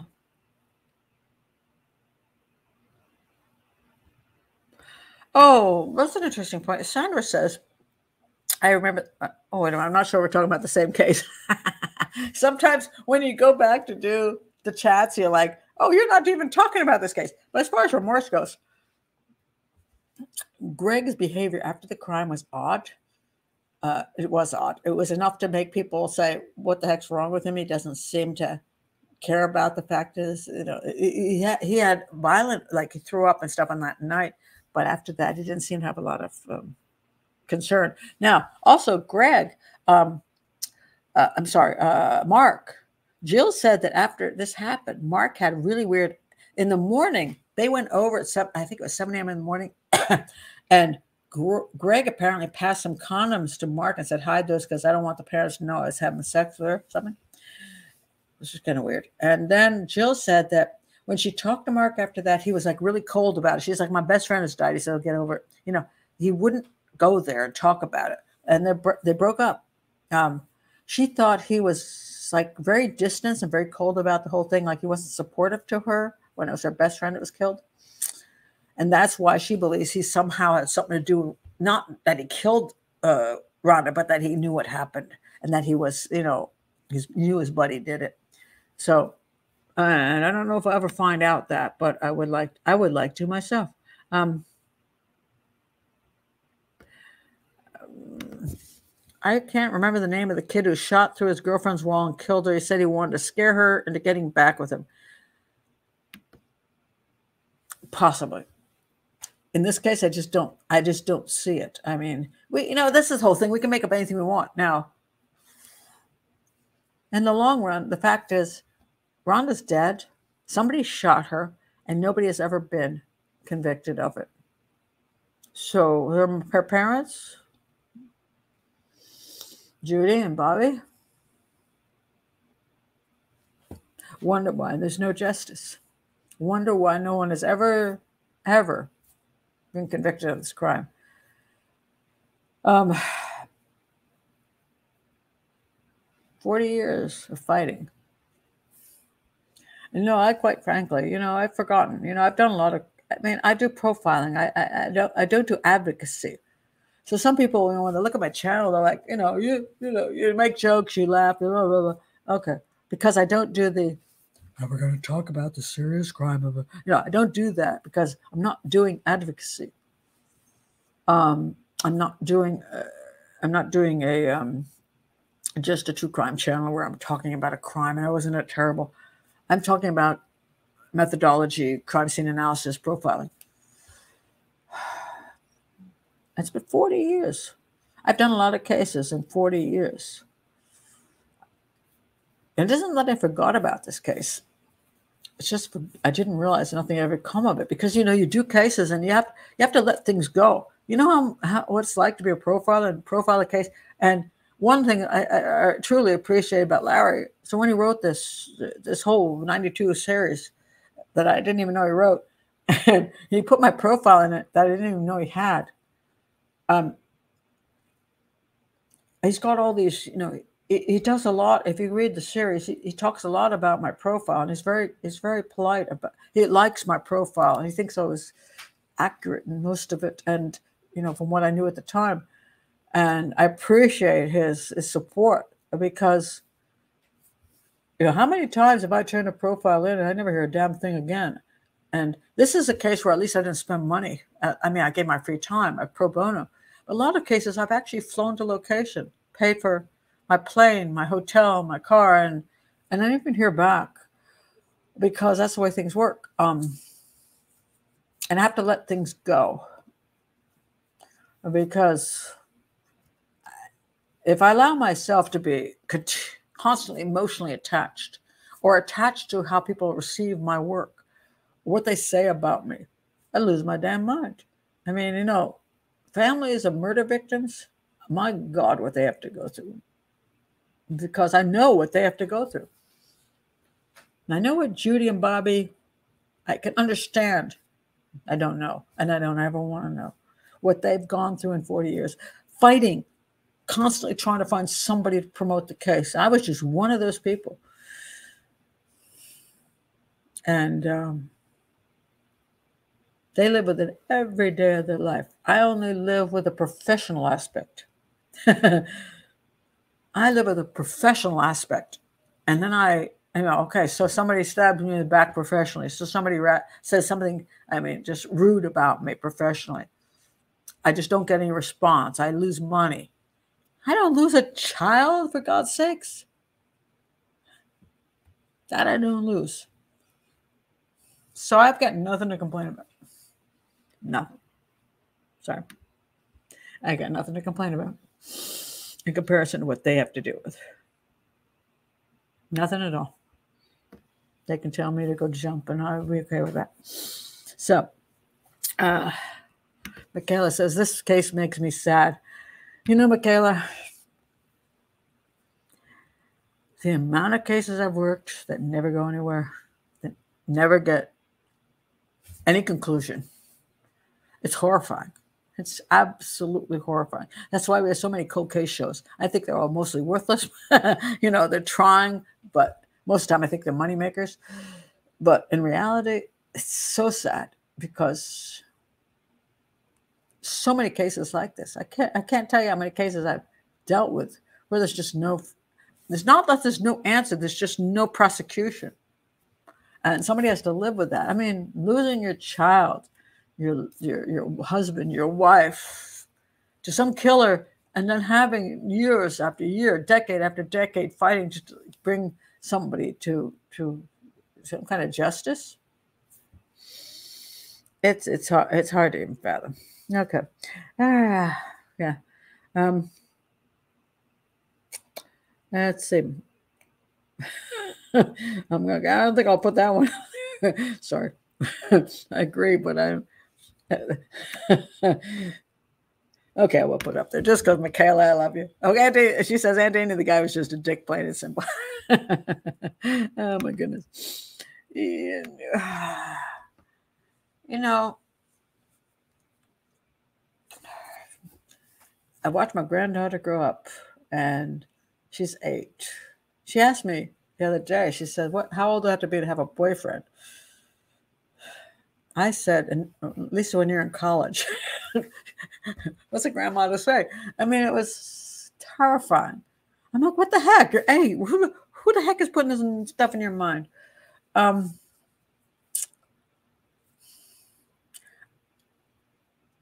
nah. Nah. I get I got nothing. It's just it's it's just it's just frightening. It's just really frightening. Um uh see TJ says about I'm not sure what that means. Cases that weren't prosecuted. Um, oh, oh, you read my book. Okay, just reading your book was very frustrating. Um, I wrote the know interesting. CJ, you mentioned that I wrote my book, um, uh, which is the Profiler. The original title was "An American Woman Seeks Justice," but they they they changed that title make, made it to the Profiler: My Life Hunting Serial Killers and Psychopaths, which was so disingenuous, and I had no choice because uh, that's what the profile that's what the publisher did and it was a terrible, terrible title and subtitle. And so people hate my book with a passion because they do. I mean, they write terrible things about me all the time because like, hey, you know, she says she did all these cases and they didn't get they didn't get prosecuted. But that was the point of the book. But I got I got stabbed in the back on that. I was trying to say that as a profiler, I was trying to show how you could work on these cases, but because a profile is too late, because the first 48 was gone, because the the detectives hadn't had proper training that you could you could solve the case, but it would never go to court. Um, Rhonda Hinson's case was not in the book, but there's a lot of cases that were, um, and it, it's really sad. Now, one of the cases, uh, Andrea case, was in the book. Um, I remember what I called her in, in the book. Hmm. But anyway, I had they you know had uh, uh, you know pseudonyms. Um, Anderson Carter's case just came to court recently, um, and uh, the guy I profiled as the killer was convicted of murdering her. But at the same hand, they also accused. He claimed that he was hired as a it was a hit hired by the fiance who was totally innocent. I went to the I, I, I, that that whole thing. I did a whole uh, show on Anderson Carter. You can, you can find if you put in Pat Brown profile of Pat Brown and Sakata, you come up with that case. It's going to be on 2020, and I think Dateline. Uh, they one of them has uh, contacted me for participation. I've refused. I didn't trust them. Um, and and and Chris Johnson, who is the the the fiance of the who who spent a year with an ankle bracelet because he was accused by a serial killer of killing his fiance, which is ridiculous as a hired hit a whole nother story uh, that never was in the profiler because that didn't happen back then. Um, now he now he got found not guilty by a jury within one hour, and now they're doing a whole story on, on a bunch of channels. But I don't trust those media outlets, so I'm not doing it. But um, a lot of the stories in the book were about the fact that there was no conclusion. But no conclusion doesn't mean that the profiler is wrong. The conclusion means that the prosecute there was no way to prosecute that something went wrong during the either either there was something that went wrong during the investigation uh, where people weren't trained well enough to look the right direction which i pointed out because it's important to me not because i hate the detectives or i hate the police agents but because i want more training for them. It's not their fault. And the second thing was that sometimes things just go that way. And uh, so it's very sad. Most of the cases in the book were not were not ever prosecuted properly or anybody is found guilty. And I, that was the point I was making. but the publisher stabbed me in the back and made it look like this was a completely different title. And people read the book and go, ah, you know, that doesn't make sense. And then they hate me. But anyway, that that is life. oh my God. Um, but yeah. Um, Mar- Mar- Marie says, I'm just going to tag you with my question again because I'm a curious cat. Are there things about this case that you can't tell us? Um, at this point, uh, Larry has done such a thorough 90, 95 series, 95, and my profile is in there. Um, I would say no, except for my suggestions to the police as to how they might do with deal with the case now that might get some resolution. That that is in my profile, and that I have not not um not that I have not given out during the show. That's the only thing. Uh, how they might pursue it this late in time um, to get some something maybe. That's all. But everything else is pretty much out in the public now. It's been 40 freaking years, you know what I mean? yeah. And I did not know my profile was in public. It was with the police department. Um, I, I was stunned to find out that he had gotten it. I don't know how he got it. I really don't. I didn't send it to him. I can't even find it. I say I lost it. Somehow I lost it. And, it, and I'm really glad to see it again. Uh, you know, because when you look at a case you did 20 years ago, what, what day it was 2000? What was it? What was it again? 2001. I was pretty new in the field at that time, and you know it's kind of creepy to look back on some of your really early cases and wonder whether you screwed them all up. and so I was like, I hope this isn't totally stupid. Um, and you know now he's made it public to the entire world, and I'm like, man, this might be a really I might have been a retard, you know. So anyway, turned out that he liked the profile, and I look back and go, okay, it's a good profile, and based on the fact that I actually didn't have the information he had I was surprised it came out as well as it did. Uh, but I think that's because the evidence was there. There was enough evidence, in spite of the fact I was missing 50% of everything, that just led me to believing that the top suspect is uh, uh, uh Greg, uh, the boyfriend. That is the top suspect. Charles, the, his father, um, is curious, but I just can't see any particular reason or timing that he would have committed this crime. And I can't come up with anybody else. So I can't say that Greg is guilty, but I'm just going to say it's hard to get away from him being a top suspect. That's for sure. Um, let's see. Um, uh, which of your books do you recommend as a first read? Uh, it, it, it, it kind of depends what you're interested in. Um, the profiler shows how I uh, uh, how I got into the business, how I uh, ended up uh, analyzing cases, and how things went the way they did, and what I think needs to be done. It's a very, very. It was just a very heartfelt, honest book, which, um, you know, that's the way it was. It's just the truth. Um, so I think to understand me and what I think should be done, which is training of detectives. Uh,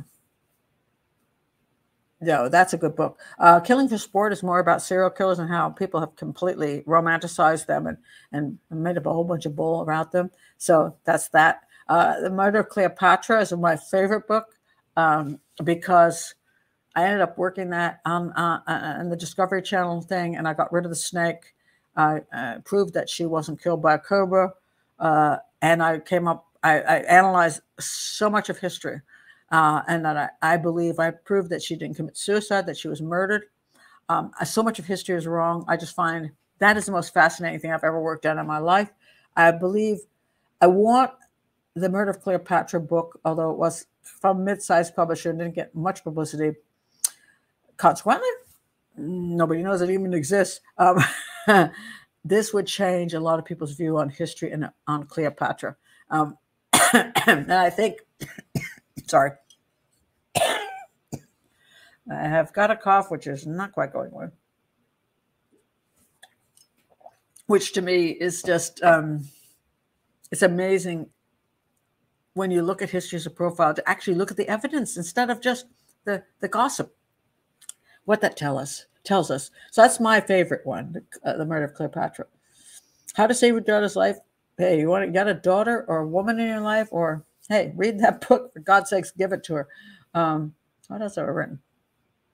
Oh, how to, uh, only the truth if you just want a great mystery story. And I'm working on a bunch of mystery stories, by the way. I just have to try to get them in among everything else I'm doing. But I do have them. Um, I have a couple other fun fun things. I might have missed one that I actually did. Sometimes you can't remember stuff, you know. Hey, you know, it's funny. You know, when I couldn't remember talking to Larry, I'm like, I have no recollection of this conversation.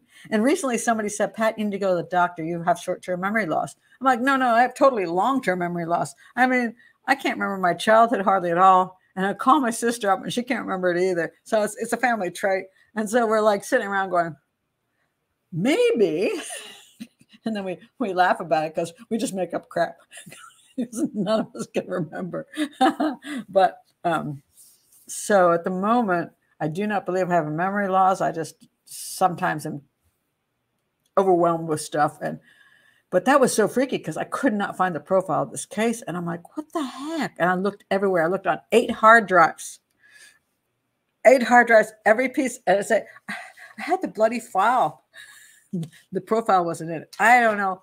Uh, I'm just so thrilled that Larry apparently got it from the police. I don't know. So I could actually see what I wrote. I was excited. Oh my goodness. Um, uh, I'm going to get How to Save Your Daughter's Life for myself, though, not my daughter. It, it it's applicable, applicable to all women.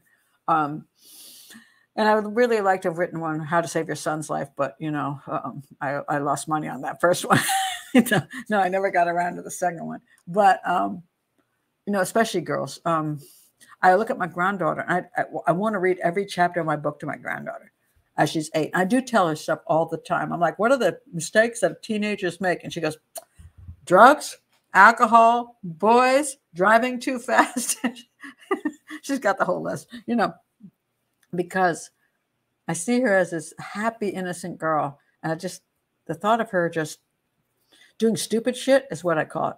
And she, she, she kind of knows that terminology, stupid shit. Um, uh, I, the thought of her, this child who loves art and rides horses and and a caring, beautiful girl, the thought that she in five years might just decide to do stupid shit just breaks my heart, you know.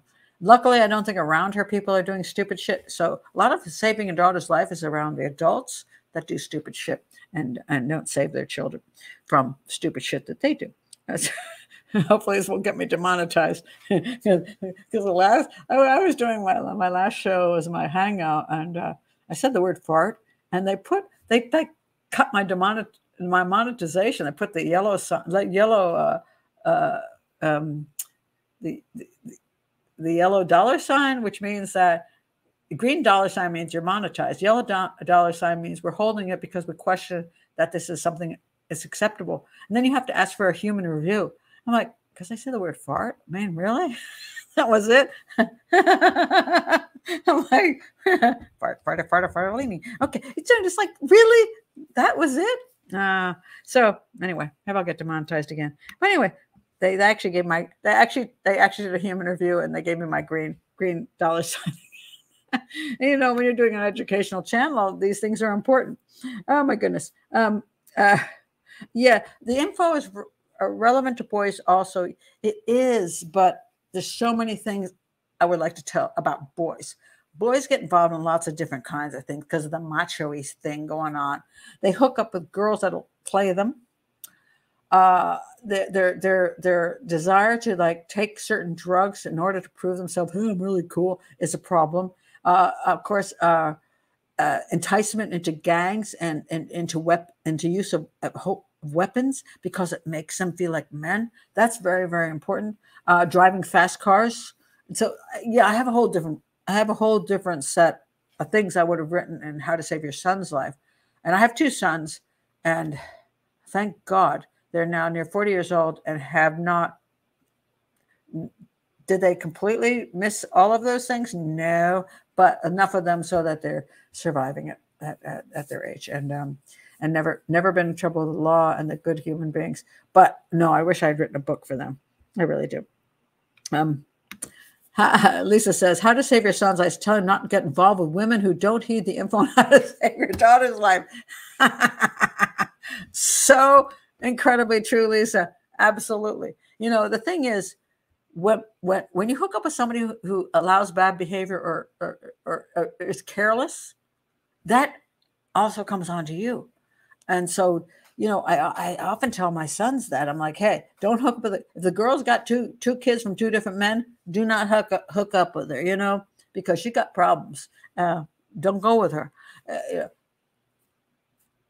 because her problems will become your problems. And if she had bad, if she had a lot of bad judgment, with those in her past, she's going to have bad judgment with you. So yeah, you're right about that. So. Aunt Danny says that's why my grandkids live with me. Very good. Yeah, uh, that, that's it.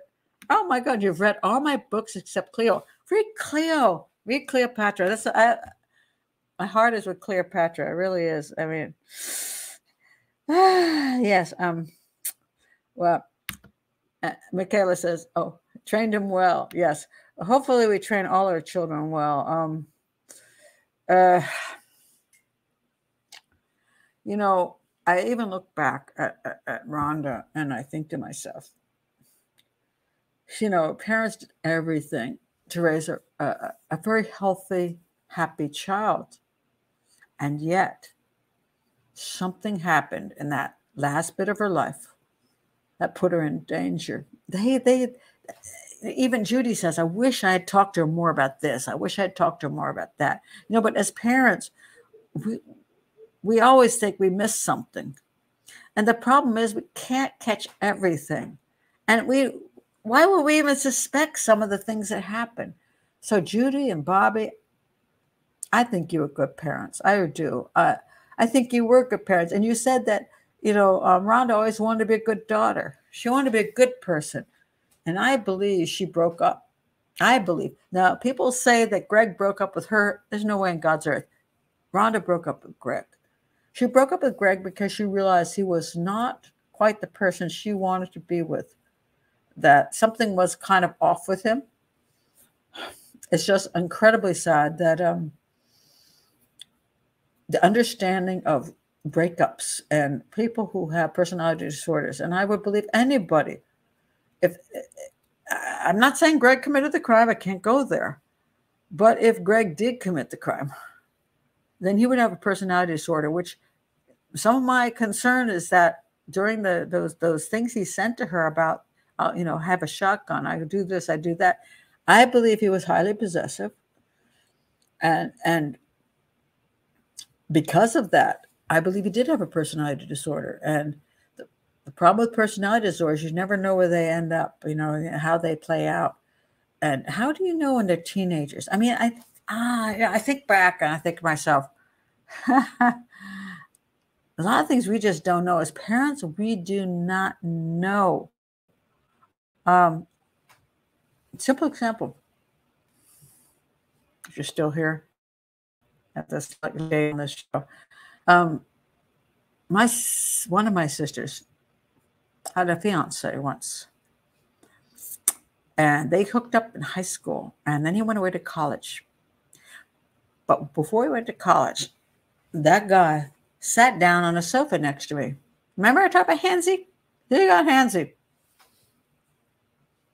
You got that handsy. And I remember I was maybe 15, 16, 15 or 16.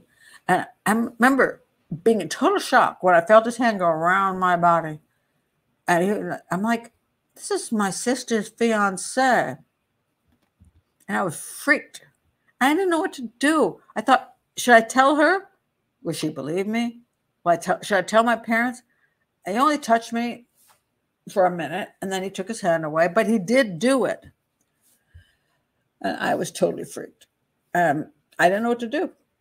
And he went off to college. And one day, right before Christmas, if it was, my, my sister came home. By the way, this is not the sister I usually talk about. This is my other sister. And she came home and she was crying hysterical. And my parents are like, What's wrong? And she said, I broke up with my fiance. They were engaged. She had a ring and everything. I broke up with my fiance. Why? She said because he got into drugs. I don't know drugs. I'm thinking that time meant weed, you know, uh, but she wasn't into that crap. So she was like completely, completely blown away by this whole thing. And she said I broke up with him, and my reaction was, I ran out of the room. I ran down to my bedroom I shut the door and I said, Yes, yes, yes. I was so excited. I was thrilled beyond belief because she had broken up with a guy and he was a creep. But she never knew that. Um, because I never told her and I never told my parents. Thank God she broke up with him. you know. Um, and she went on with her life and, and, you know, married somebody else who was stable and she had a child and they, you know, they're married for many years. But I never told my parents. My parents had no clue. He looked like a nice boy. It seemed like a nice relationship. They were engaged to be married. So glad he screwed up and she dumped him. So glad. But you see, parents, you can't you can't always see everything. You can't. It's just a it's an unfortunate thing in life, and that's what's frightening is that we don't always see things. So when I, when I talked to Judy and Barbara, I'm like, you couldn't have known. I don't think you would have known that Greg had those little issues. That that, that I mean, you eventually realize that Greg had some issues and that his daddy had definite issues. But and and you know you you you struggled with that, thinking, my God, I, I wish I could have protected my daughter. But how would you have known that was affecting your daughter in the way it would? I mean, there's no way. I mean, that was like totally out of the blue that this incredible thing happened. So, uh, I, I, in this particular case, I don't think Bobby and, and Judy had any any reason to feel like they failed their daughter. I think that they were always there for her and still are, and still are. So, um, yeah, yeah, me too. me too. I think Pat needs a new podcast, Life Life Lessons. Hey, you know, I might have to do that one of these days. Uh, Dear Pat instead of Dear Abby. Yeah, I might have to do that. Uh, you know, I, I didn't. I no, it wasn't that I didn't want to hurt my sister. I didn't think she would believe me to this day, I don't think she would have believed me. Because when you say, go to your sister, you say, hey, you know, you know, your fiance felt me up. I mean, would you believe it? If that was the guy you're in love with, would you believe it? See, this is where the trouble comes into. I mean, would you believe it? My answer is probably not. And she probably hate me thinking, oh, you're just making up crap about my boyfriend, my fiance. You know, she probably do I think I did the right thing? Not necessarily, but I just don't think she would have believed me. I still don't think she would have believed me. I'm just glad the hell they broke up. Um, um, I wish Rhonda's dad would have pressed her a little about what she wanted to tell him. Oh, there is, yeah, there is in the show, uh, there is a point where Rhonda's dad says that she said she had something she wanted to tell him, something that was bothering her, and and she didn't tell him. And he said, I should have, I should have pressed her more for that. Should have found out. You know, uh, yeah, I don't know that she would ever told him anyway. I mean, that's the why she didn't tell him. I, I don't know how much he could have pressured her. I think he just feels guilty that he couldn't have somehow gotten it out of her. But who knows what it was? Um, did she? Was it really something that affect? Was it something that had anything to do with her death, or is it just something? You know, and that that that's another whole point. oh, wait a minute. wait, what would you say there? Um, uh, wait a minute. I saw something funny here. It just made me laugh. Um,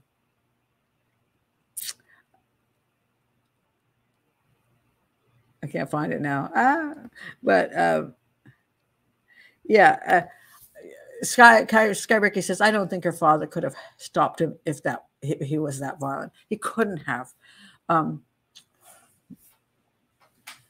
some things happen because we, we don't know. We just don't know. I mean, and even if you have questions, you know, you're concerned, how do you stop everything in life? You can't, you can't. You can't stop somebody from doing horrific things sometimes. I mean, sometimes you just can't. I mean, that's why I tell parents, you know, unless you if you knowingly brought a felon into your house of like oh you know i was conversing with this guy in prison. He was a two-time killer but i thought i'd bring him home and hang out with my teenage daughter even though he was a suspected rapist too. Okay i'm going to blame you because that's un, that's unacceptable. But the rest of things in life some of them just you can't predict. You can think maybe this could happen maybe it never happens. Um, it's it's it's a, it's very very tricky um, it's very tricky. Um, let's see. Uh, Leslie says, My roommate's boyfriend in college did the same. And I told her and her friend, and they said, Why would you make that up? Leslie, are you looking for attention? I was so pissed. I still get angry. Oh, you see, yeah. I mean, this is the problem. Uh, are you looking for attention? And the problem is, some girls are, and they do lie. So I, I I think I was too young to realize girls did that. you know, I didn't realize people made up crap like that, like you know, to get attention. But I just I, I didn't know. I just believe she wouldn't believe me. I don't think she would have believed me. I really, honestly, do not think so. He was a church. He was a church going boy. I think after the fact that he and she after she dumped him, I never did actually tell her. Maybe I can't remember if I told her like 30 years later or not. I can't remember whether I actually said anything, but I believe maybe after that she would. I, if I told her, she'd go, "Oh my God, thank God I dumped him." Uh, but prior to that, I think she had no clue. I mean, she had no clue. Why would she think this boy she loved would do something like that? And that that's where that's where you have the problem. Uh, you know, then it becomes a he said, she said, and why are you saying this? Um, it's really tough. It's extremely difficult. Um, so yeah, um, tough, really tough stuff.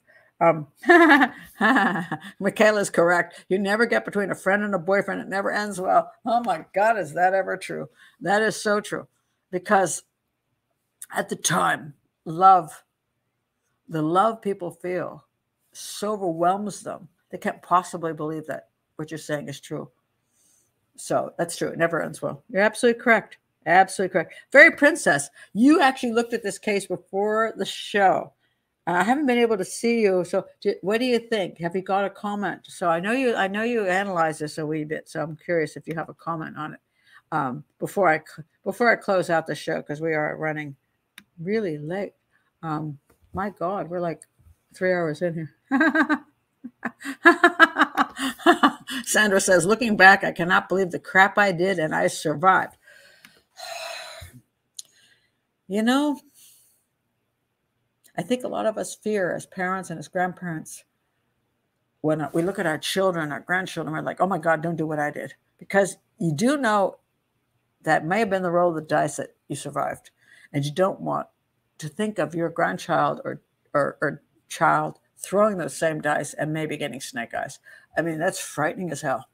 Because I, I, you know, I remember things that I, I, I'm like, what the heck? How come I, how come I'm still here? You know, I, you know, it's funny. I think the number one memory I have of that, for some reason, I was in Hollywood. I was doing, I was out there modeling.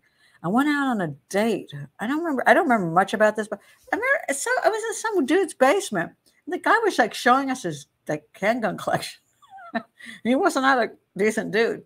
And I remember thinking, how do I get the hell out of here? I remember thinking, oh my God, why am I here with these people? and I still don't know the answer to that.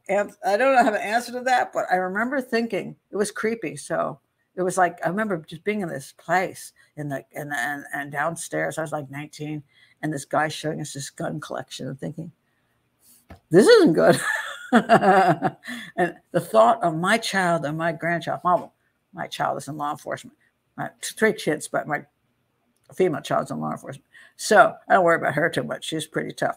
But my grandchild is eight, I'm thinking, oh my God, don't do what I did. you know, you know, don't be stupid. Don't be stupid, man. I'm lucky I got out of that basement. You know, oh my God. you know, so um, fairy princess. I, am still. Uh, that's very sweet. They're exemplary. I hope they find peace. I do too. I don't think you ever find peace. It's just my belief. I don't. Um, even with even when there's proper justice, I don't think you find peace. I mean, how do you? I mean, you put everything into this child that you love and adore, and some piece of crap takes her out or him out. Uh, uh, you know, people. I'm going to end my uh, end my Anyway, I'm going to end this show because we're late. Just with oh, just my whole 100% feeling on this. People ask me what is the thing I fear most in life. And my fear has always been the knock on the door. The knock on the door, when you open it up, there's two police officers there. And you know it's not going to be good. Now, as I said, my daughter's in law enforcement. I feared that for years. I still fear it. She's closing in on the end of her career. 18 years, 18 years, two years left to retirement. I still fear. I'll get the knock, I'll open the door, and there'll be two people standing there, two police officers. And I know what that means. Something's not, it's not going to be good. And even with my, if any of my child wasn't in law enforcement, I have two other sons, I have two sons as well who are not in law enforcement, and I'm a granddaughter, and I have my son-in-law and other people I love. Open the door, and there's two police officers there, and they say, "We have something we have to tell you. We're very sorry to bring you this news, and whatever it is they tell me." That's my biggest fear in life I don't I don't fear death. I don't fear cancer. I don't fear not being successful. I don't fear not making money. I fear two police officers at the door. And so, for every victim, every family of a victim of homicide, I, I get that. I've never been there and I don't want to be there. I don't. Yes, I know.